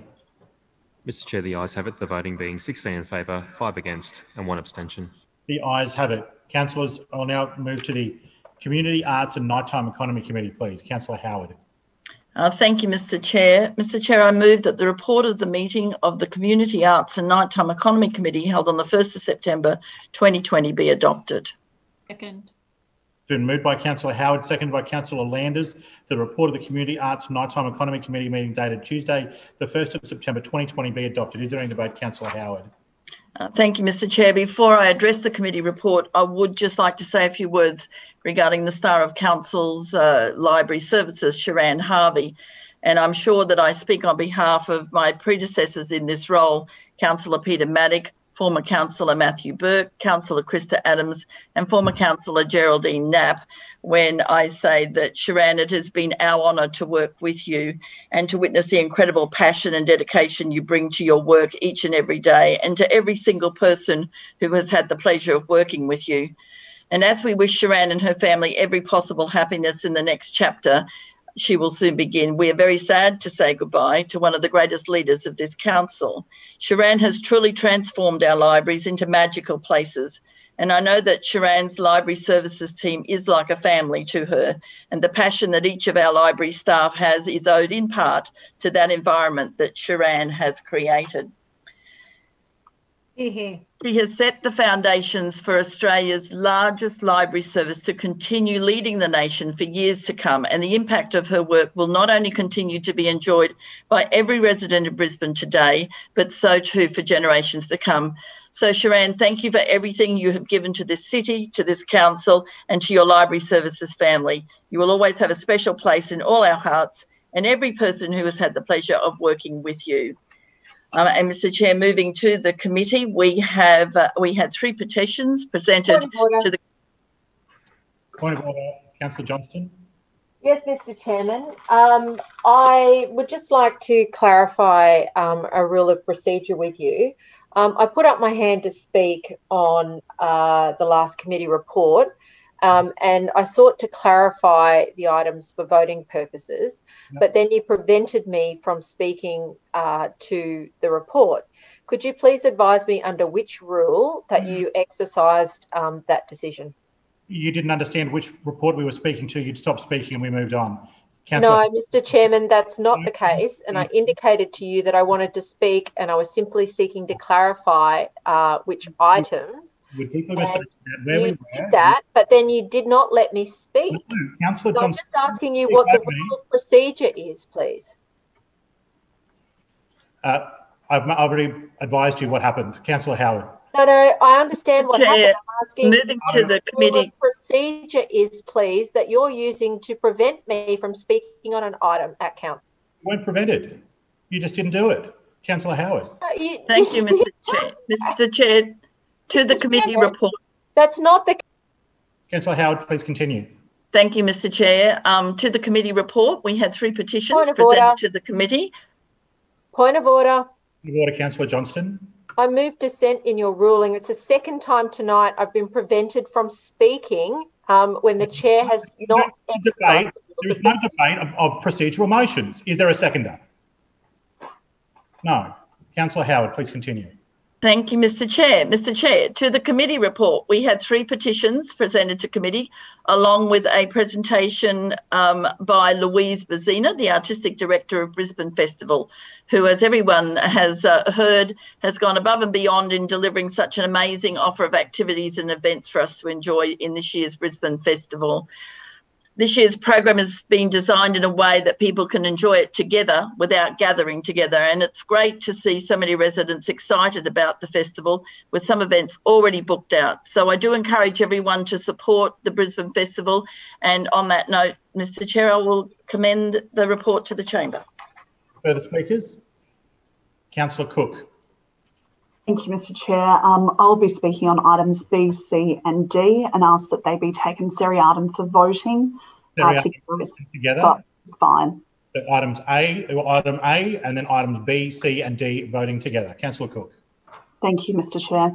Um, these items are the petitions regarding the Bellbowrie pool and the petition requesting council provide an immediate financial rescue package for struggling sporting and community clubs. Firstly, Mr. Chair, on the Bellbowrie pool, uh, here we have two petitions signed by community members of the Pullenvale ward asking for their local pool to remain open year round and for heating to allow that to happen.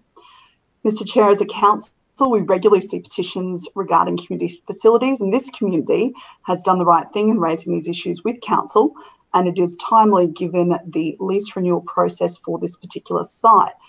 However, uh, what we have seen in the council's response to this petition, which is supported uh, by the local councillor, Councillor Adermann, is what we see time and time again in the city an acknowledgement of petitioners' concerns, but no real action to actually address them. This is the prime example where council could actually do something. They could uh, put a provision in the tender document specifically asking for these requirements to be met by those looking to tender for this pool. Uh, they could actively take steps to assess the costs of these improvements and commit to partnering with the new lessee to ensure that they are delivered. Um, but this LNP Council chooses to do none of those things.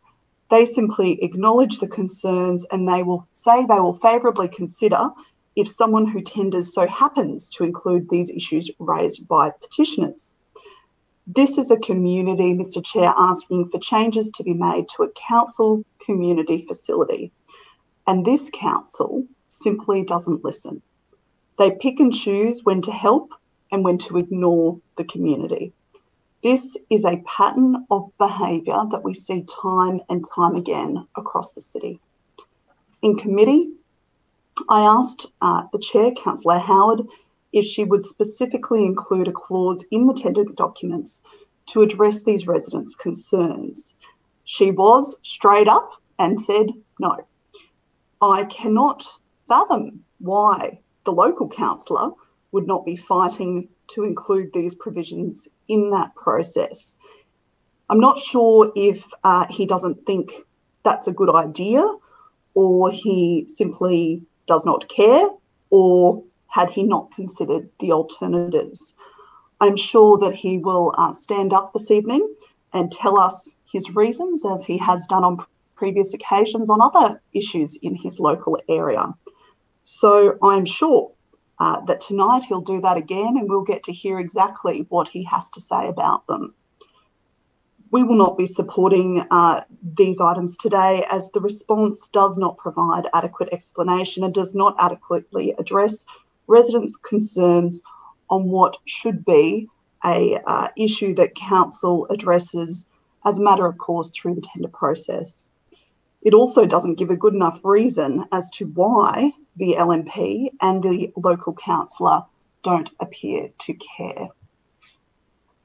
On item D, the request for council to provide an immediate financial rescue package Mr Chair, this petition was launched by Labor and was signed by over 1,200 residents from across the city. We launched this petition in response to COVID and the need to support our struggling community clubs. As I've said before, Mr Chair, um, community clubs and organisations are the heart and soul of our communities. We must do everything we can to support them. When this petition was launched, the LNP had done nothing to help genuinely help our struggling clubs. They had hidden behind water rebates from the previous year uh, for a small number of organisations, whilst ripping millions of dollars in support for these groups behind the scenes through the budget process. No doubt, uh, Councillor Howard will tell us tonight, as she did during the budget, that there have been no cuts. The programs uh, throughout this uh, area have simply been moved to COVID recovery.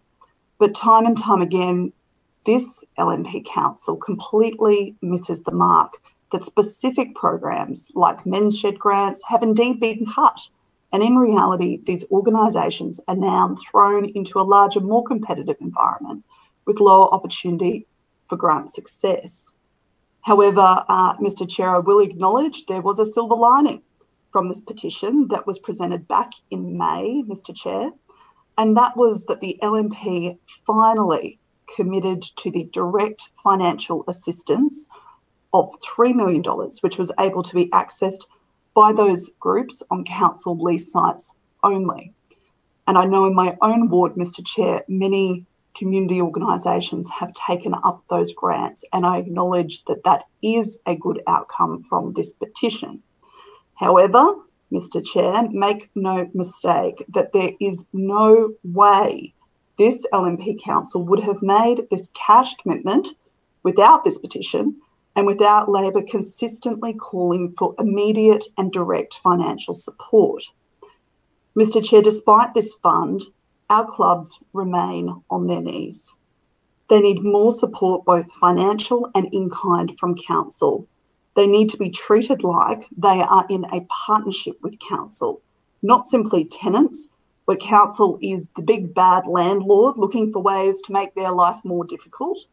Our role is not one only of compliance, it should actually be one of partnership. We should not be looking for ways to kick out clubs from their homes of over 20 years, strictly enforcing the rules to the detriment of our hard working volunteers. We should do better, and this response should have been more comprehensive and provide more support. For those reasons, we won't be supporting the recommended response today because it simply states what has already occurred.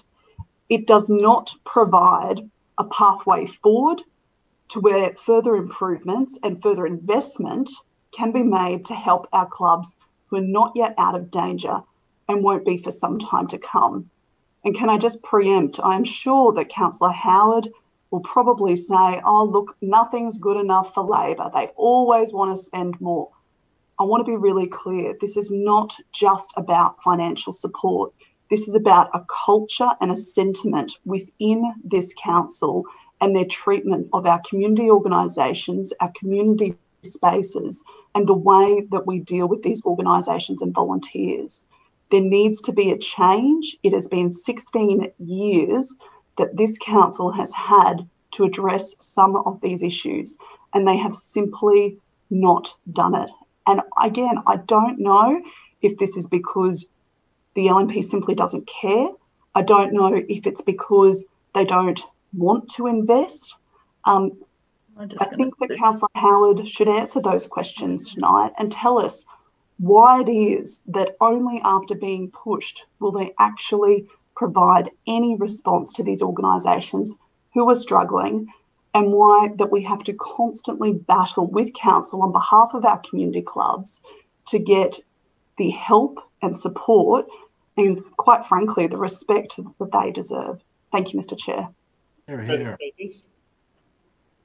Councillor Johnston. Geez, I wouldn't want you to miss me.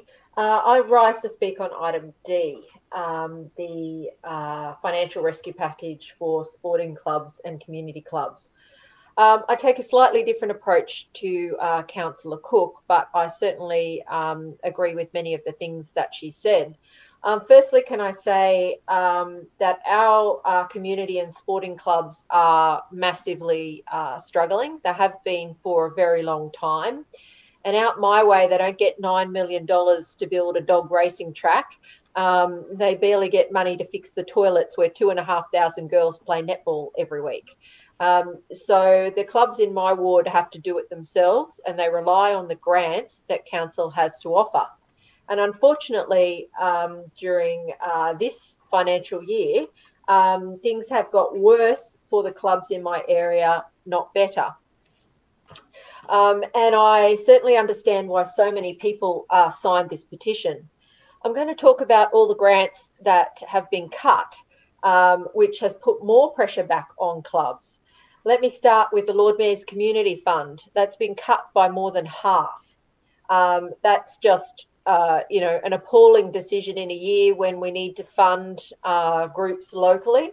Um, and to cut that funding um, when it was not necessary. Um, you know, I put forward a viable alternative that uh, the LNP refused to consider, which was introducing um, a scheme to approve the funding. I note that they were able to do it um, with the COVID money uh, that's put aside for uh, capital works, but of course, um, simply because I proposed it, I presume the Lord Mayor uh, decided it was uh, not something he would accept. Um, but we could have had a, an approvals process in place through the committee structure using a similar model to the Parks and uh, footpath trust fund monies.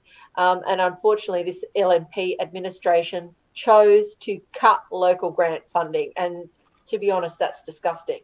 Um, but that's not the half of it. Um, the truth is actually really out there now about what this administration has done.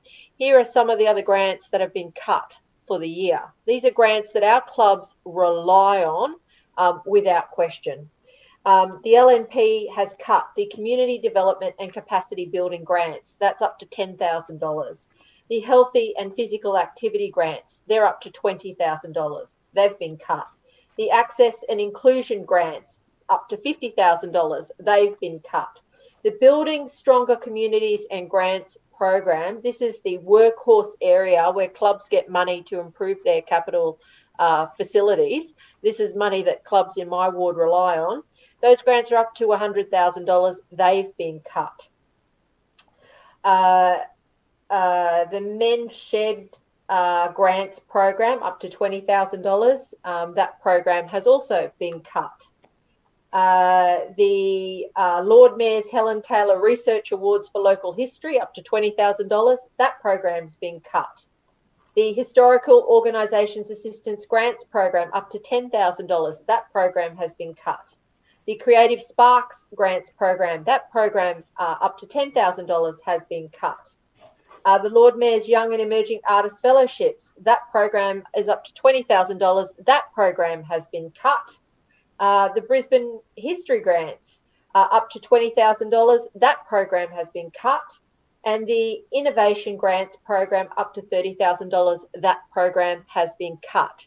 That's, you know, 15 odd programs that this Lord Mayor has cut the funding for, putting even more pressure on our community and sporting clubs when there are no grants available for them. Now, that leads me into um, what this LNP administration is trying to sell, which is the Lord Mayor's COVID 19 Direct Assistance Program. Um, those program grants are up to $10,000. They are only available to clubs on community leased council land. In my ward, there are dozens of groups that are ineligible because they are on church land they are on land that they own because the community all put in a pound each 100 years ago and bought the land. They're not wealthy. Um, they can barely upkeep their facilities, but they're not eligible for any grant this year um, because this administration has drawn up the criteria in a way that excludes them. Then there are a number of groups that are on uh, state government land, um, and all of these groups, kindies, RSLs, community centres, um, guides, uh, you name it. There are so many groups um, that are missing out on the $10,000 COVID grant. And there is not a single other grant that they can apply for with council this year other than the Lord Mayor's community funds, which the Lord Mayor cut. I cannot believe the goal of this administration, this LNP administration, um, to claim that it is out there helping groups when all they have done this year is to cut the grant funding that is available, uh, to restrict the access to the COVID 19 grants so that legitimate and needy community groups miss out. Kindies miss out. Corinda Christian Kindy, because they're located on church grounds, they're not eligible. It's private property. Um, you know, it is just appalling to watch this administration um, neglect clubs because they're not based on council land. Um, to me, this is one of the um, most appalling aspects of this program. Um, it clearly demonstrates that the Lord Mayor is unaware how much community life in this city happens um, that's not on council leased land. Um, and these groups are being deliberately starved of funds this year. Um, they're desperate to keep going and they are struggling. They are really, really struggling. And the council's response to this is to cut the grant funding that is normally available to them to restrict eligibility um, to the one grant that that looks like it might be available to them but isn't. And the result is dozens and dozens of community groups who are going to miss out on any kind of council support this year. Now, I wrote to the Lord Mayor about this.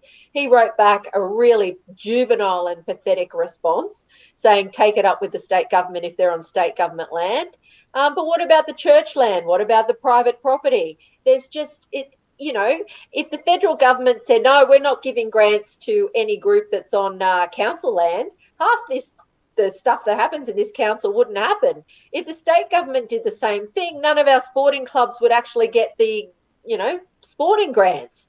It's so short sighted, it's so mean spirited, and it is so pathetic um, that at a time when we should be supporting community life in this city, when people are at home, they are in their neighbourhoods, they, their whole world has been reduced down to what is happening in their community um, this LNP administration has cut the funds available to them. Now, you know, 1,200 people have signed a petition calling on council for support. And I appreciate that Councillor Cook thinks um, the COVID grants are good. They are, but they do not. They do not even um, cover the ordinary grants that have been cut by this administration this year and there are dozens of groups that have been disenfranchised by the narrowly drawn criteria. And that is a poor reflection upon this um, LNP administration. It is stingy, it is mean spirited, um, and it's incredibly disappointing that many groups will not see a single cent um, from council to help them through um, that significant hardship that they are experiencing. Um, we've got tiny little volunteer groups in my area whose only source of income is through their halls. They can't lease their hall out, they can't do anything, um, um but they're not eligible for any grants from council. Um, I, I, I just think that, you know, I don't know what the rest of the LNP councillors are doing in there. I mean, do you not pay attention to what's happening in your own communities? I can't be the only one with dozens of community clubs and community groups that are going to miss out altogether from any little bit of funding from this council simply because hmm. no one will speak up. No one will say to the Lord Mayor, you need to broaden the criteria and you need to reinstate some of these grants. Um, millions of dollars in advertising money can be found, millions of dollars for TV and ads and surveys, but we can't find a little bit of money to help our community groups. It is not good enough. So let me be clear. Um, it, it, it's some sleight of hand you've got going with these COVID grants because you have cut nearly every other grant um, that council normally offers. And that is out there now, and our groups are aware of it. Um, and I can tell you they are disappointed. Um, and it is distressing to see them um, experiencing such hardship um, without any support from this council. Further speakers? Councillor Cassidy. Uh, thanks very much, Chair. I'd just like to speak on Clause D briefly tonight. And, and the response here is outlined by Councillor Cook um, to this petition, which was a significant petition and a cry for help uh, from people who are mostly, I think, associated with uh, community uh, organisations and sporting clubs around our city, a cry for help to this administration, and that's fallen largely on deaf ears. They were dragged kicking and screaming to respond with the um, the piecemeal and fairly anemic response that they have come up with. Uh, but but overall, the level of support and the disdain that our um, community and sporting clubs are treated with by this administration, by this Lord Mayor, by uh, Councillor Howard tells you all you need to know about their priorities, Chair. Uh, when we raise the issue of um, the cost of water for our um, council leased sporting organisations, um, uh, those organisations, uh, some of them will be eligible for a $5,000 rebate, uh, which is temporary. Uh, some of those clubs in my area and surrounding wards are faced with thirty to forty thousand dollars uh, in water bills at the moment, particularly. They've had no income, um, very little um, in the way of playing sports, very little in the way of canteen sales, and they're still um, considered uh, that they need to uh, maintain those fields by council. Uh, they have to pay those bills. Uh, and every time this is raised, this administration, um, as is this Lord Mayor's way, blames someone else. And, and, when it comes to water, he says it's all the state government's fault. Uh, it's never his fault. It's never uh, his problem to fix, Chair. Uh, but what we know is what came through these reports earlier in the ENC that $200 million in pure, cold, hard cash comes to this council from QUU, from water. Uh, We own the water retailer, or 85% of it. Uh, and when this administration says we can't possibly help with community clubs' water needs because it's not our problem, we've got nothing to do with water, says this Lord Mayor, uh, and yet he's willing to accept $200 million uh, in water profits. Um, I think that absolutely stinks, Chair. And all of those clubs, not just in the Deagon ward, but in the Bracken Ridge ward, and the Marchant ward, and the Northgate ward, and the Enoggera ward, uh, and, and those wards right across the city, of which uh, we have been telling those uh, community clubs that, uh, they are starting to get very, very annoyed with this administration's response. Now, these, these community clubs, these sporting clubs, are not run by professionals, they're not businesses. They are community organisations, the backbones of our community. They're mums and dads and grandparents and family and friends. They don't go there and do it for money. They do it for uh, the love of their families and their communities. Uh, you know, and then when they're told uh, by this administration that uh, those grant programs have to end because um, you know council's running out of money, and yet they see that two hundred million dollars comes in in uh, cold hard cash as a profit from water sales. They see tonight that the Lord Mayor's ad budget continues to rise, uh, reaching close to $2 million uh, in the last couple of years. And they see that the Lord Mayor spent $250,000 uh, contracting Ipsos, a political polling company, uh, to get his message just right in the lead up to the last election. They get um, quite upset, Chair, and you can understand why. So, this response to this petition is inadequate uh, in the very least. Uh, it is appalling in the very worst. Uh, these uh, clubs are the backbone of our community, and the disdain in which this administration continues to show for them will be a shocking legacy for them. We know that clubs are shutting their doors now, and some of them will never ever reopen. Uh, that was revealed in recent questions on notice. It will be your legacy, Councillor Howard, and this Lord Mayor's legacy when more of these clubs close because you continue to sit on your hands, you continue to take the big bucks, you continue to take the allowances, uh, and you continue to advertise yourself at the expense of our community clubs. That is your legacy. Uh, further speakers? Anyone? Councillor Howard. Uh, thank you, Mr. Chair. Um, well, Mr. Chair, um, let me first of all um, make some comments about item B and item C, the Bellbowrie pool. And as I advised in committee last week, and as stated in the petition background, when council resumes the tender process, any proposals to install heating and expand the length of the of the opening season will be favourably considered. I don't think that can be any more clear. Turning to um, item D, when the coronavirus pandemic hit Brisbane, our connected communities immediately took to the phones and they contacted hundreds and hundreds of our community lessees to ask them what they needed. And they told us what they needed. They needed urgent financial assistance. And that is exactly what we have done. We've adapted our funding to support their needs. And that is why the Lord Mayor responded with a range of immediate support measures. Our community groups are doing it tough. Nobody denies that. And the Schrinner administration is doing everything possible to help them get through this unprecedented time.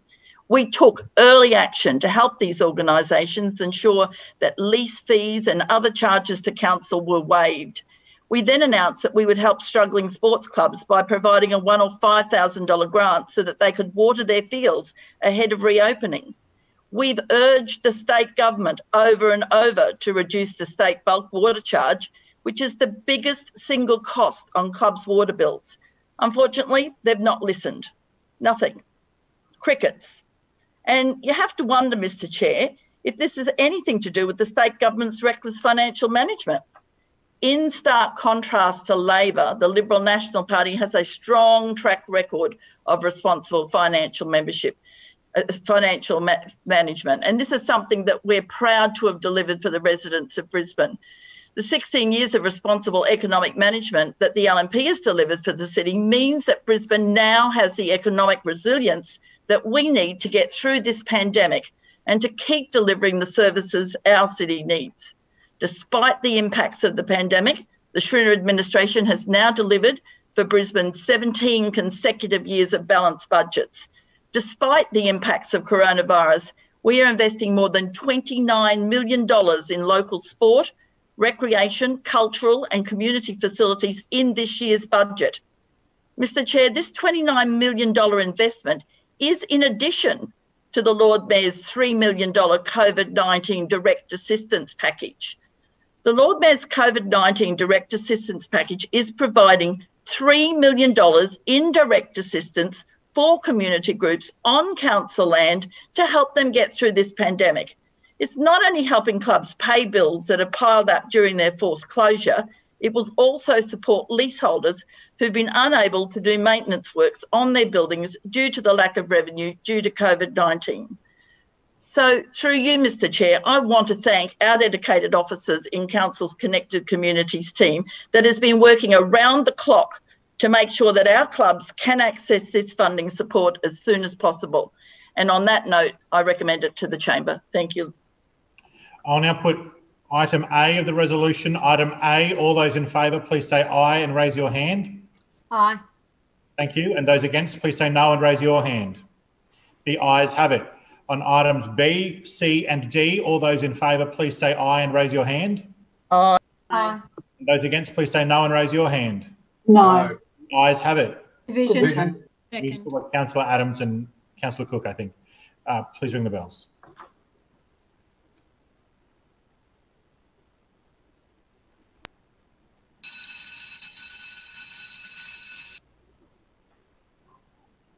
On items B, C, and D, all those in favour, please say aye, raise your hand and hold it there so that it may be counted. Aye.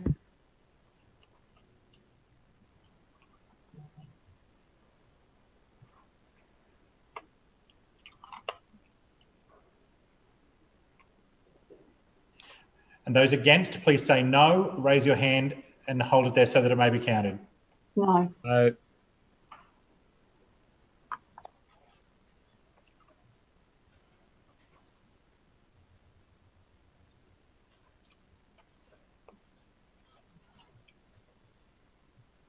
Clerks, please read the result when you're ready.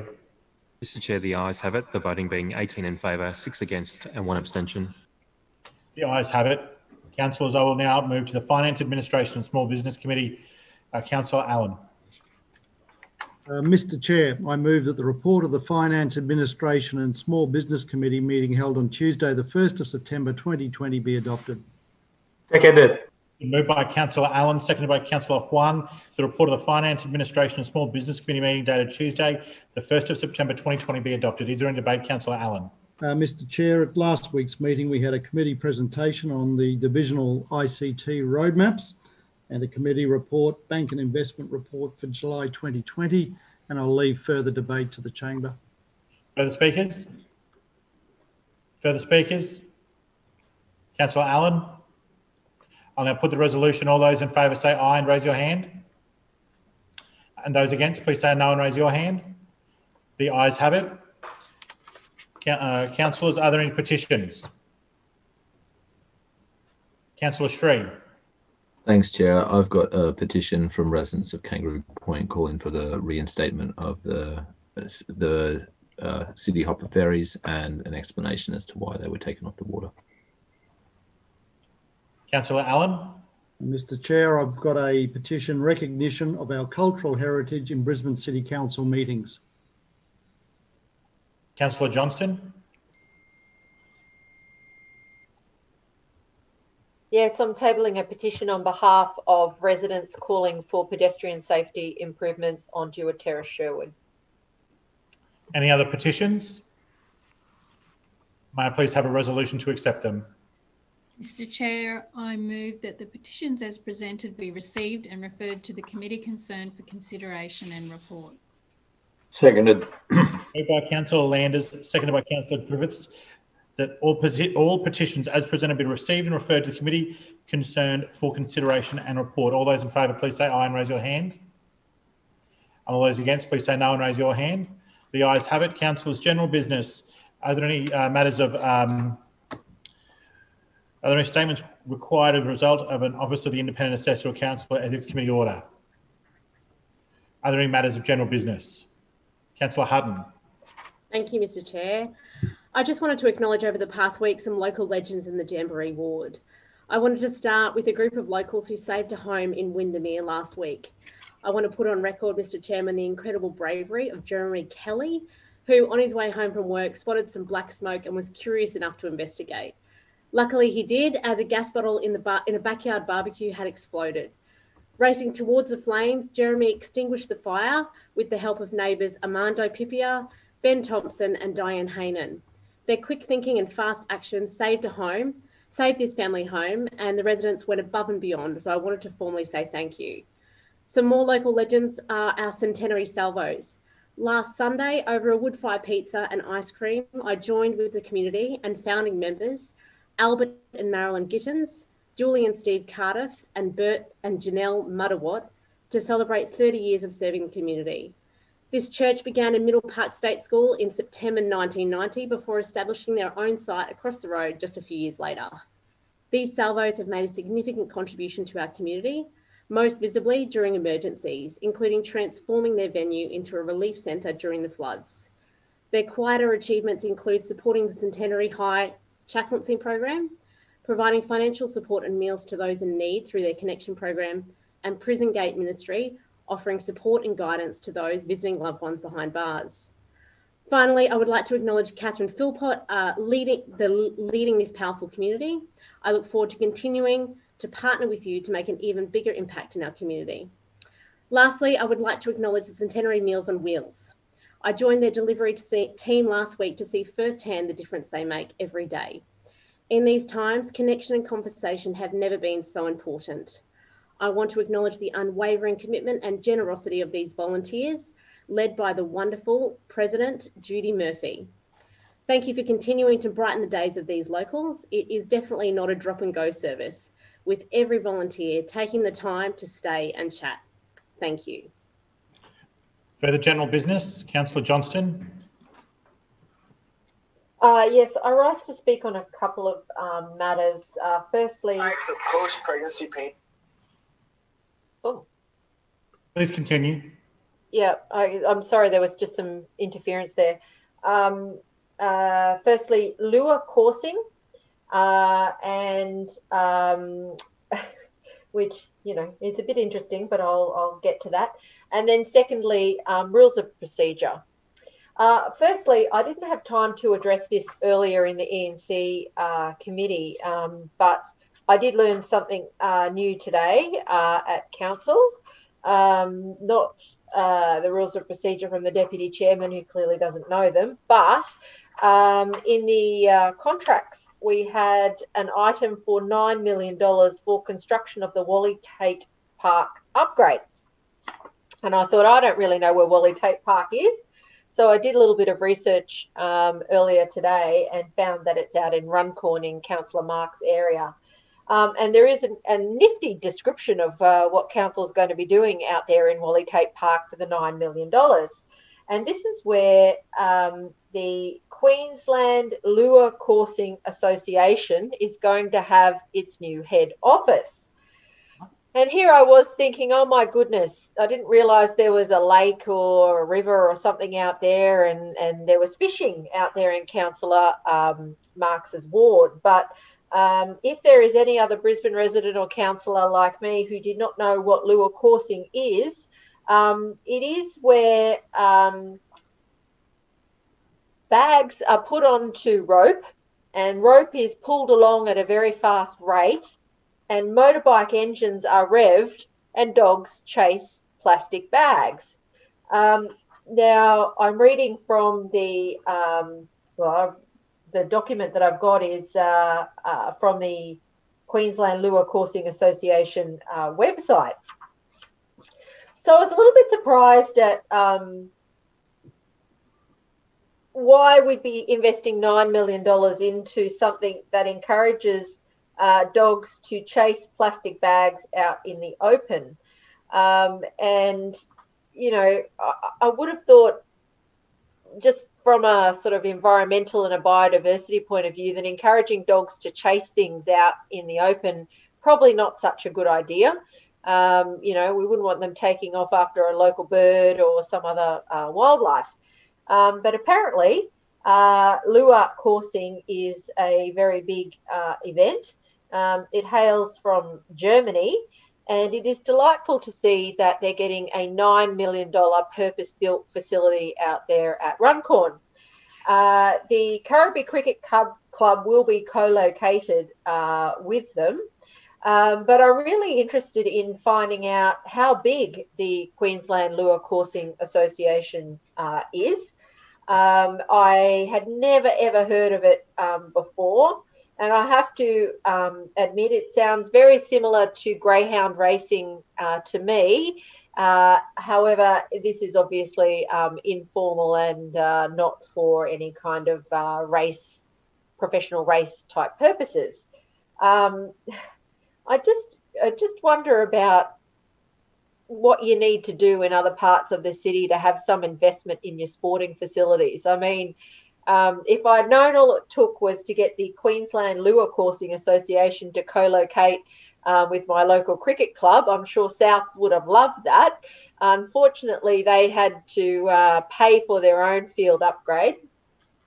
Um, and uh, of the hundred thousand dollars in uh, money they got from council from last year's grants that have been cancelled, uh, council took sixty thousand dollars back in fees and charges. It's just obscene, obscene. Um, this poor volunteer junior cricket club um, basically got nothing from council um, other than a lot of heartache, I can tell you. Um, but meanwhile, I'm very pleased for the Queensland Lure Coursing Association, who are going to get a $9 million purpose built facility so the dogs can chase plastic bags around, uh, presumably the cricket pitch, uh, on the back of motorbikes. I'm sure that's going to be a wonderful addition uh, to the um, Brisbane. Um, uh, well, I don't even know what I want to say about that. Finally, with respect to the rules of procedure.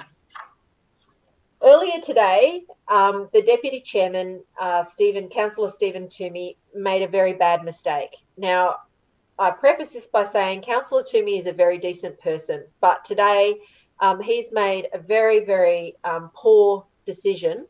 And um, the sad part of it is uh, it um, clearly, when he read out what the rule was, he was unable to apply that rule to the circumstances. So I just want to go back to um, this good order video conferencing rules. It says the following about urgency motions. And this is the same mistake that uh, you, Mr. Chairman, made last week um, in denying an urgency motion at that point. It says if a councillor successfully moves an urgency motion, a copy of the wording of the motion is to be immediately emailed to the council and committees uh, to facilitate the uh, motion. It's very clear that it is prefaced upon a successful urgency motion being moved. Both last week and again this week, I have been prevented from moving an urgency motion. That is contrary to the rules of procedure upon which we have been told this meeting is being conducted. It is extremely disappointing um, uh, to see that both the chairman and the deputy chairman are unaware of what the rules of procedure are saying, and that is we can move urgency. And then, if that urgency motion is successful, a written motion is required uh, to be provided, which will be circulated to councillors. Now, that is clearly the written advice that we've got in the 12 years that I have been here in the council chamber, that is the way that it has been done until last week. So 12 years of doing it in one way, and then last week it was different. Um, so I will be taking this further. I'll just say I'm sick and tired of being told these are the rules that you have to follow. And then when I follow them, um, both the chairman and the deputy chairman say, no, no, no, those aren't the rules. Well, today Um, the deputy chairman gave us those rules. He then deliberately um, refused to recognise the rule and allow me to move an urgency motion. Both Councillor Sri and myself, in good faith, put forward the problem with what was being suggested, and that was ignored. Um, that means it was a deliberate act to prevent me from speaking. That was the first time that happened tonight. The second time that it happened tonight, um, the chairman, Councillor Andrew Wines, prevented me from speaking on a council matter. Again, that's not a power that the chairperson has. They can rule certain things out of order, but they can't prevent a councillor from speaking uh, on matters before there. If there is a pause by any other councillor for longer than one or two seconds, you can be sure now that I'm going to raise it.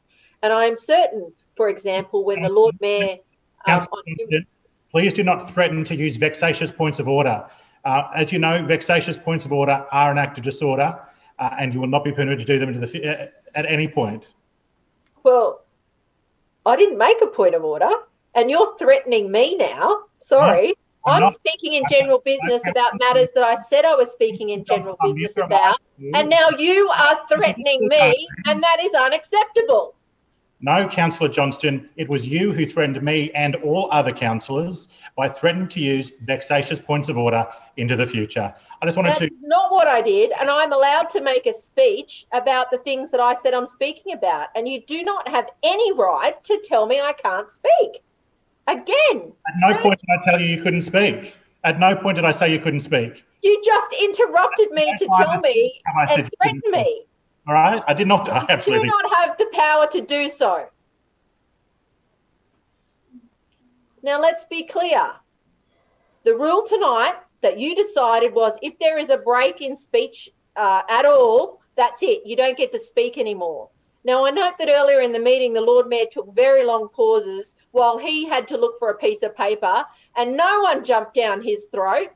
You gave him the benefit of the doubt and gave him a few seconds uh, to find his piece of paper that he was referring to. And I note that's not a courtesy that you bothered extending to me. Now, so please don't true. threaten me. You've set up the rules the way you want to set them up. That is not true. I am more tolerant towards you than any other councillor in this place. I give you a great deal of leniency. Uh, you uh, Still my general business. I don't know what you're doing. This is my no, general no, no, business. no, here. no. You badger and threaten me constantly, and I will not. I will not put up with this vexatious. You are the one doing that. I'm speaking in my general business session about the things that I raised. You Councillor- are the one threatening Your me. time has expired. Further speakers? Councillor Adams. Thank you, Mr. Chair. And uh, I would like to speak in general business on the Tarragindi Community Garden, which is a very exciting new adventure in uh, Tarragindi in the Holland Park ward. Uh, it has been an absolutely fantastic success already, uh, regardless of the fact that we have had obviously some issues with uh, COVID and uh, restrictions on gathering there. The opening happened in the, the brief moment where restrictions were relieved a little bit through uh, July, and we got a fantastic turnout of hundreds of people interested in being involved. Renee McBride has doing, done an absolutely fantastic job. She is a, a nurse at the Children's Hospital in Brisbane, where she's done community garden work there. She recognised early the significance of people being out and about and in the garden as being a bit of a mental health as well as a physical health and social uh, well-being aspect. And when she approached me about the community garden, I was more than happy to support her and get it up and running.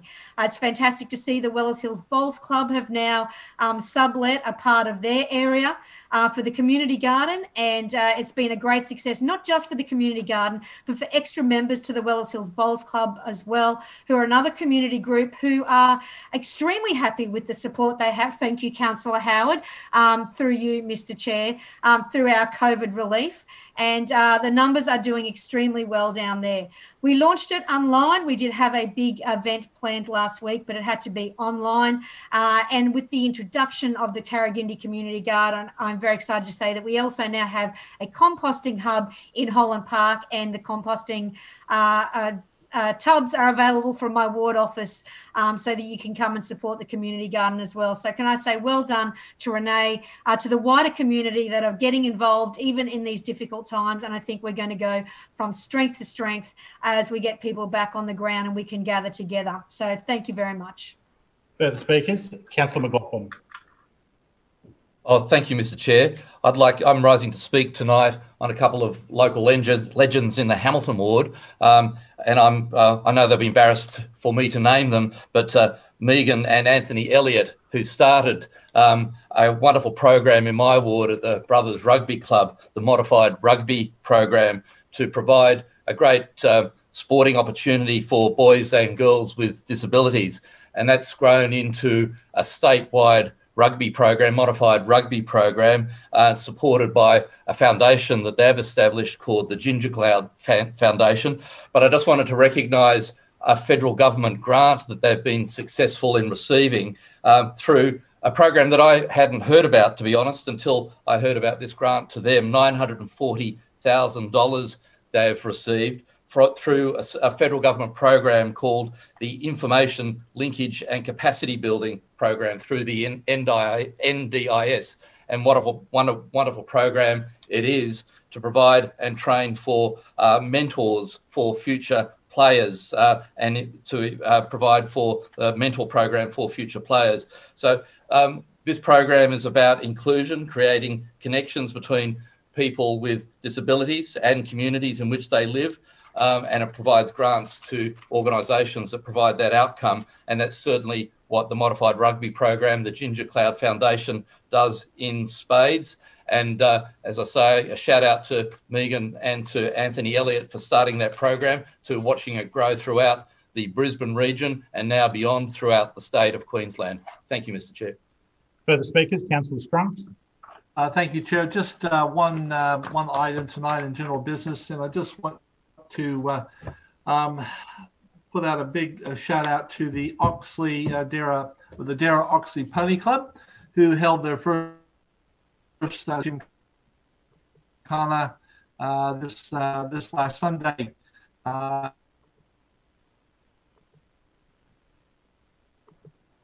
can you hear us? Sorry, I can. I can. Please continue. Oh, it keeps my um, my ward office here that's actually failing.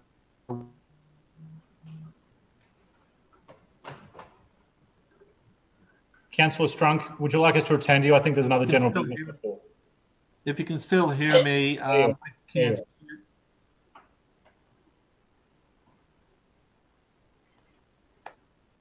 No, I think maybe we might, there's another general business, I think, and we might come back to you, all right? Councillor Huang. GB. Point of order. Uh, Point of order, Councillor Johnston. Yes, Mr Chairman, if Councillor Strunk's not speaking, then you've got to move on and you can't go back to him because that's what I asked and you said no. And I'm No. sure you want to apply your new rule fairly. No, no, absolutely. I've, I've always applied that rule exactly the same way. Councillor Huang. Uh, thank you, Mr. Chair.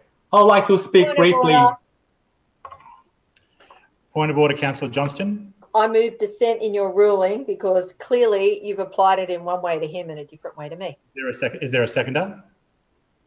There is no seconder. Councillor Huang. Yeah, thank you, Mr. Chair. I would like to uh, speak briefly on the opening of a new business on Brisbane's south side and the implications for Brisbane's economy. Recently, I was invited to the ribbon cutting ceremony of Annam Consultancy Group.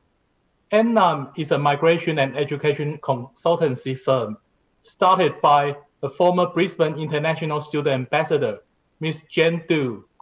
Ms. Jen Du was an international student from Vietnam, and she has decided to stay in Australia after she completed her study. At the ribbon cutting, Jen told me what inspired her to stay and started her own business in Brisbane was the uh, deciding fa- uh, the deciding factor was the support and the welcoming attitude she has received from Brisbane City Council and our successive law mayors, namely Graham Quirk and Adrian Schrinner. Of course, as some, someone of Vietnamese orig- origin, Jen has strong connection in Vietnam, and she is determined to strengthen the business and cultural networks between Brisbane and Vietnam. Whilst attending the event, I also asked Jane, would it be more challenging to start up a business under the current COVID environment? I was told Yes, it may be challenging, but it also represents new and different opportunities, and they have strong confidence in Brisbane. Jane believes that Brisbane is in a safe hand and is heading in the right direction, which is so important to this in these uncertain times. I was touched by the response and thankful to the trust they have placed in our city and our administration. Mr. Chair, we often talk about voting with one's feet. Can I say Annam is giving our city that vote of confidence by opening up a new business and having such a positive outlook for the future of our city. I would like to once again congratulate the opening of Annam and look forward to their entrepreneurship and wish them every success. Further general business? Councillor Adermann. Uh, thank you, Chair. I rise to speak about uh, Brookfield Road in my ward and the ongoing issues around traffic safety. Councillors might recall that last year the speed limit on Brookfield Road approaching the general store was reduced from 60 km an hour to 50 km, and one of the seven SAM signs in my ward is permanently located nearby. But signage alone doesn't prevent accidents, and with the Brookfield State School nearby, there is an ongoing need for motorists, parents, and children to play their part and remain alert. Unfortunately, a few weeks ago, a young schoolgirl was hit by a motorist as she attempted to cross Brookfield Road after school. The good news, after speaking to her father, is that she's okay. It was timely that the following week a meeting was convened by the local school principal that included key state, uh, state and local government officers and other key stakeholders to look at potential solutions.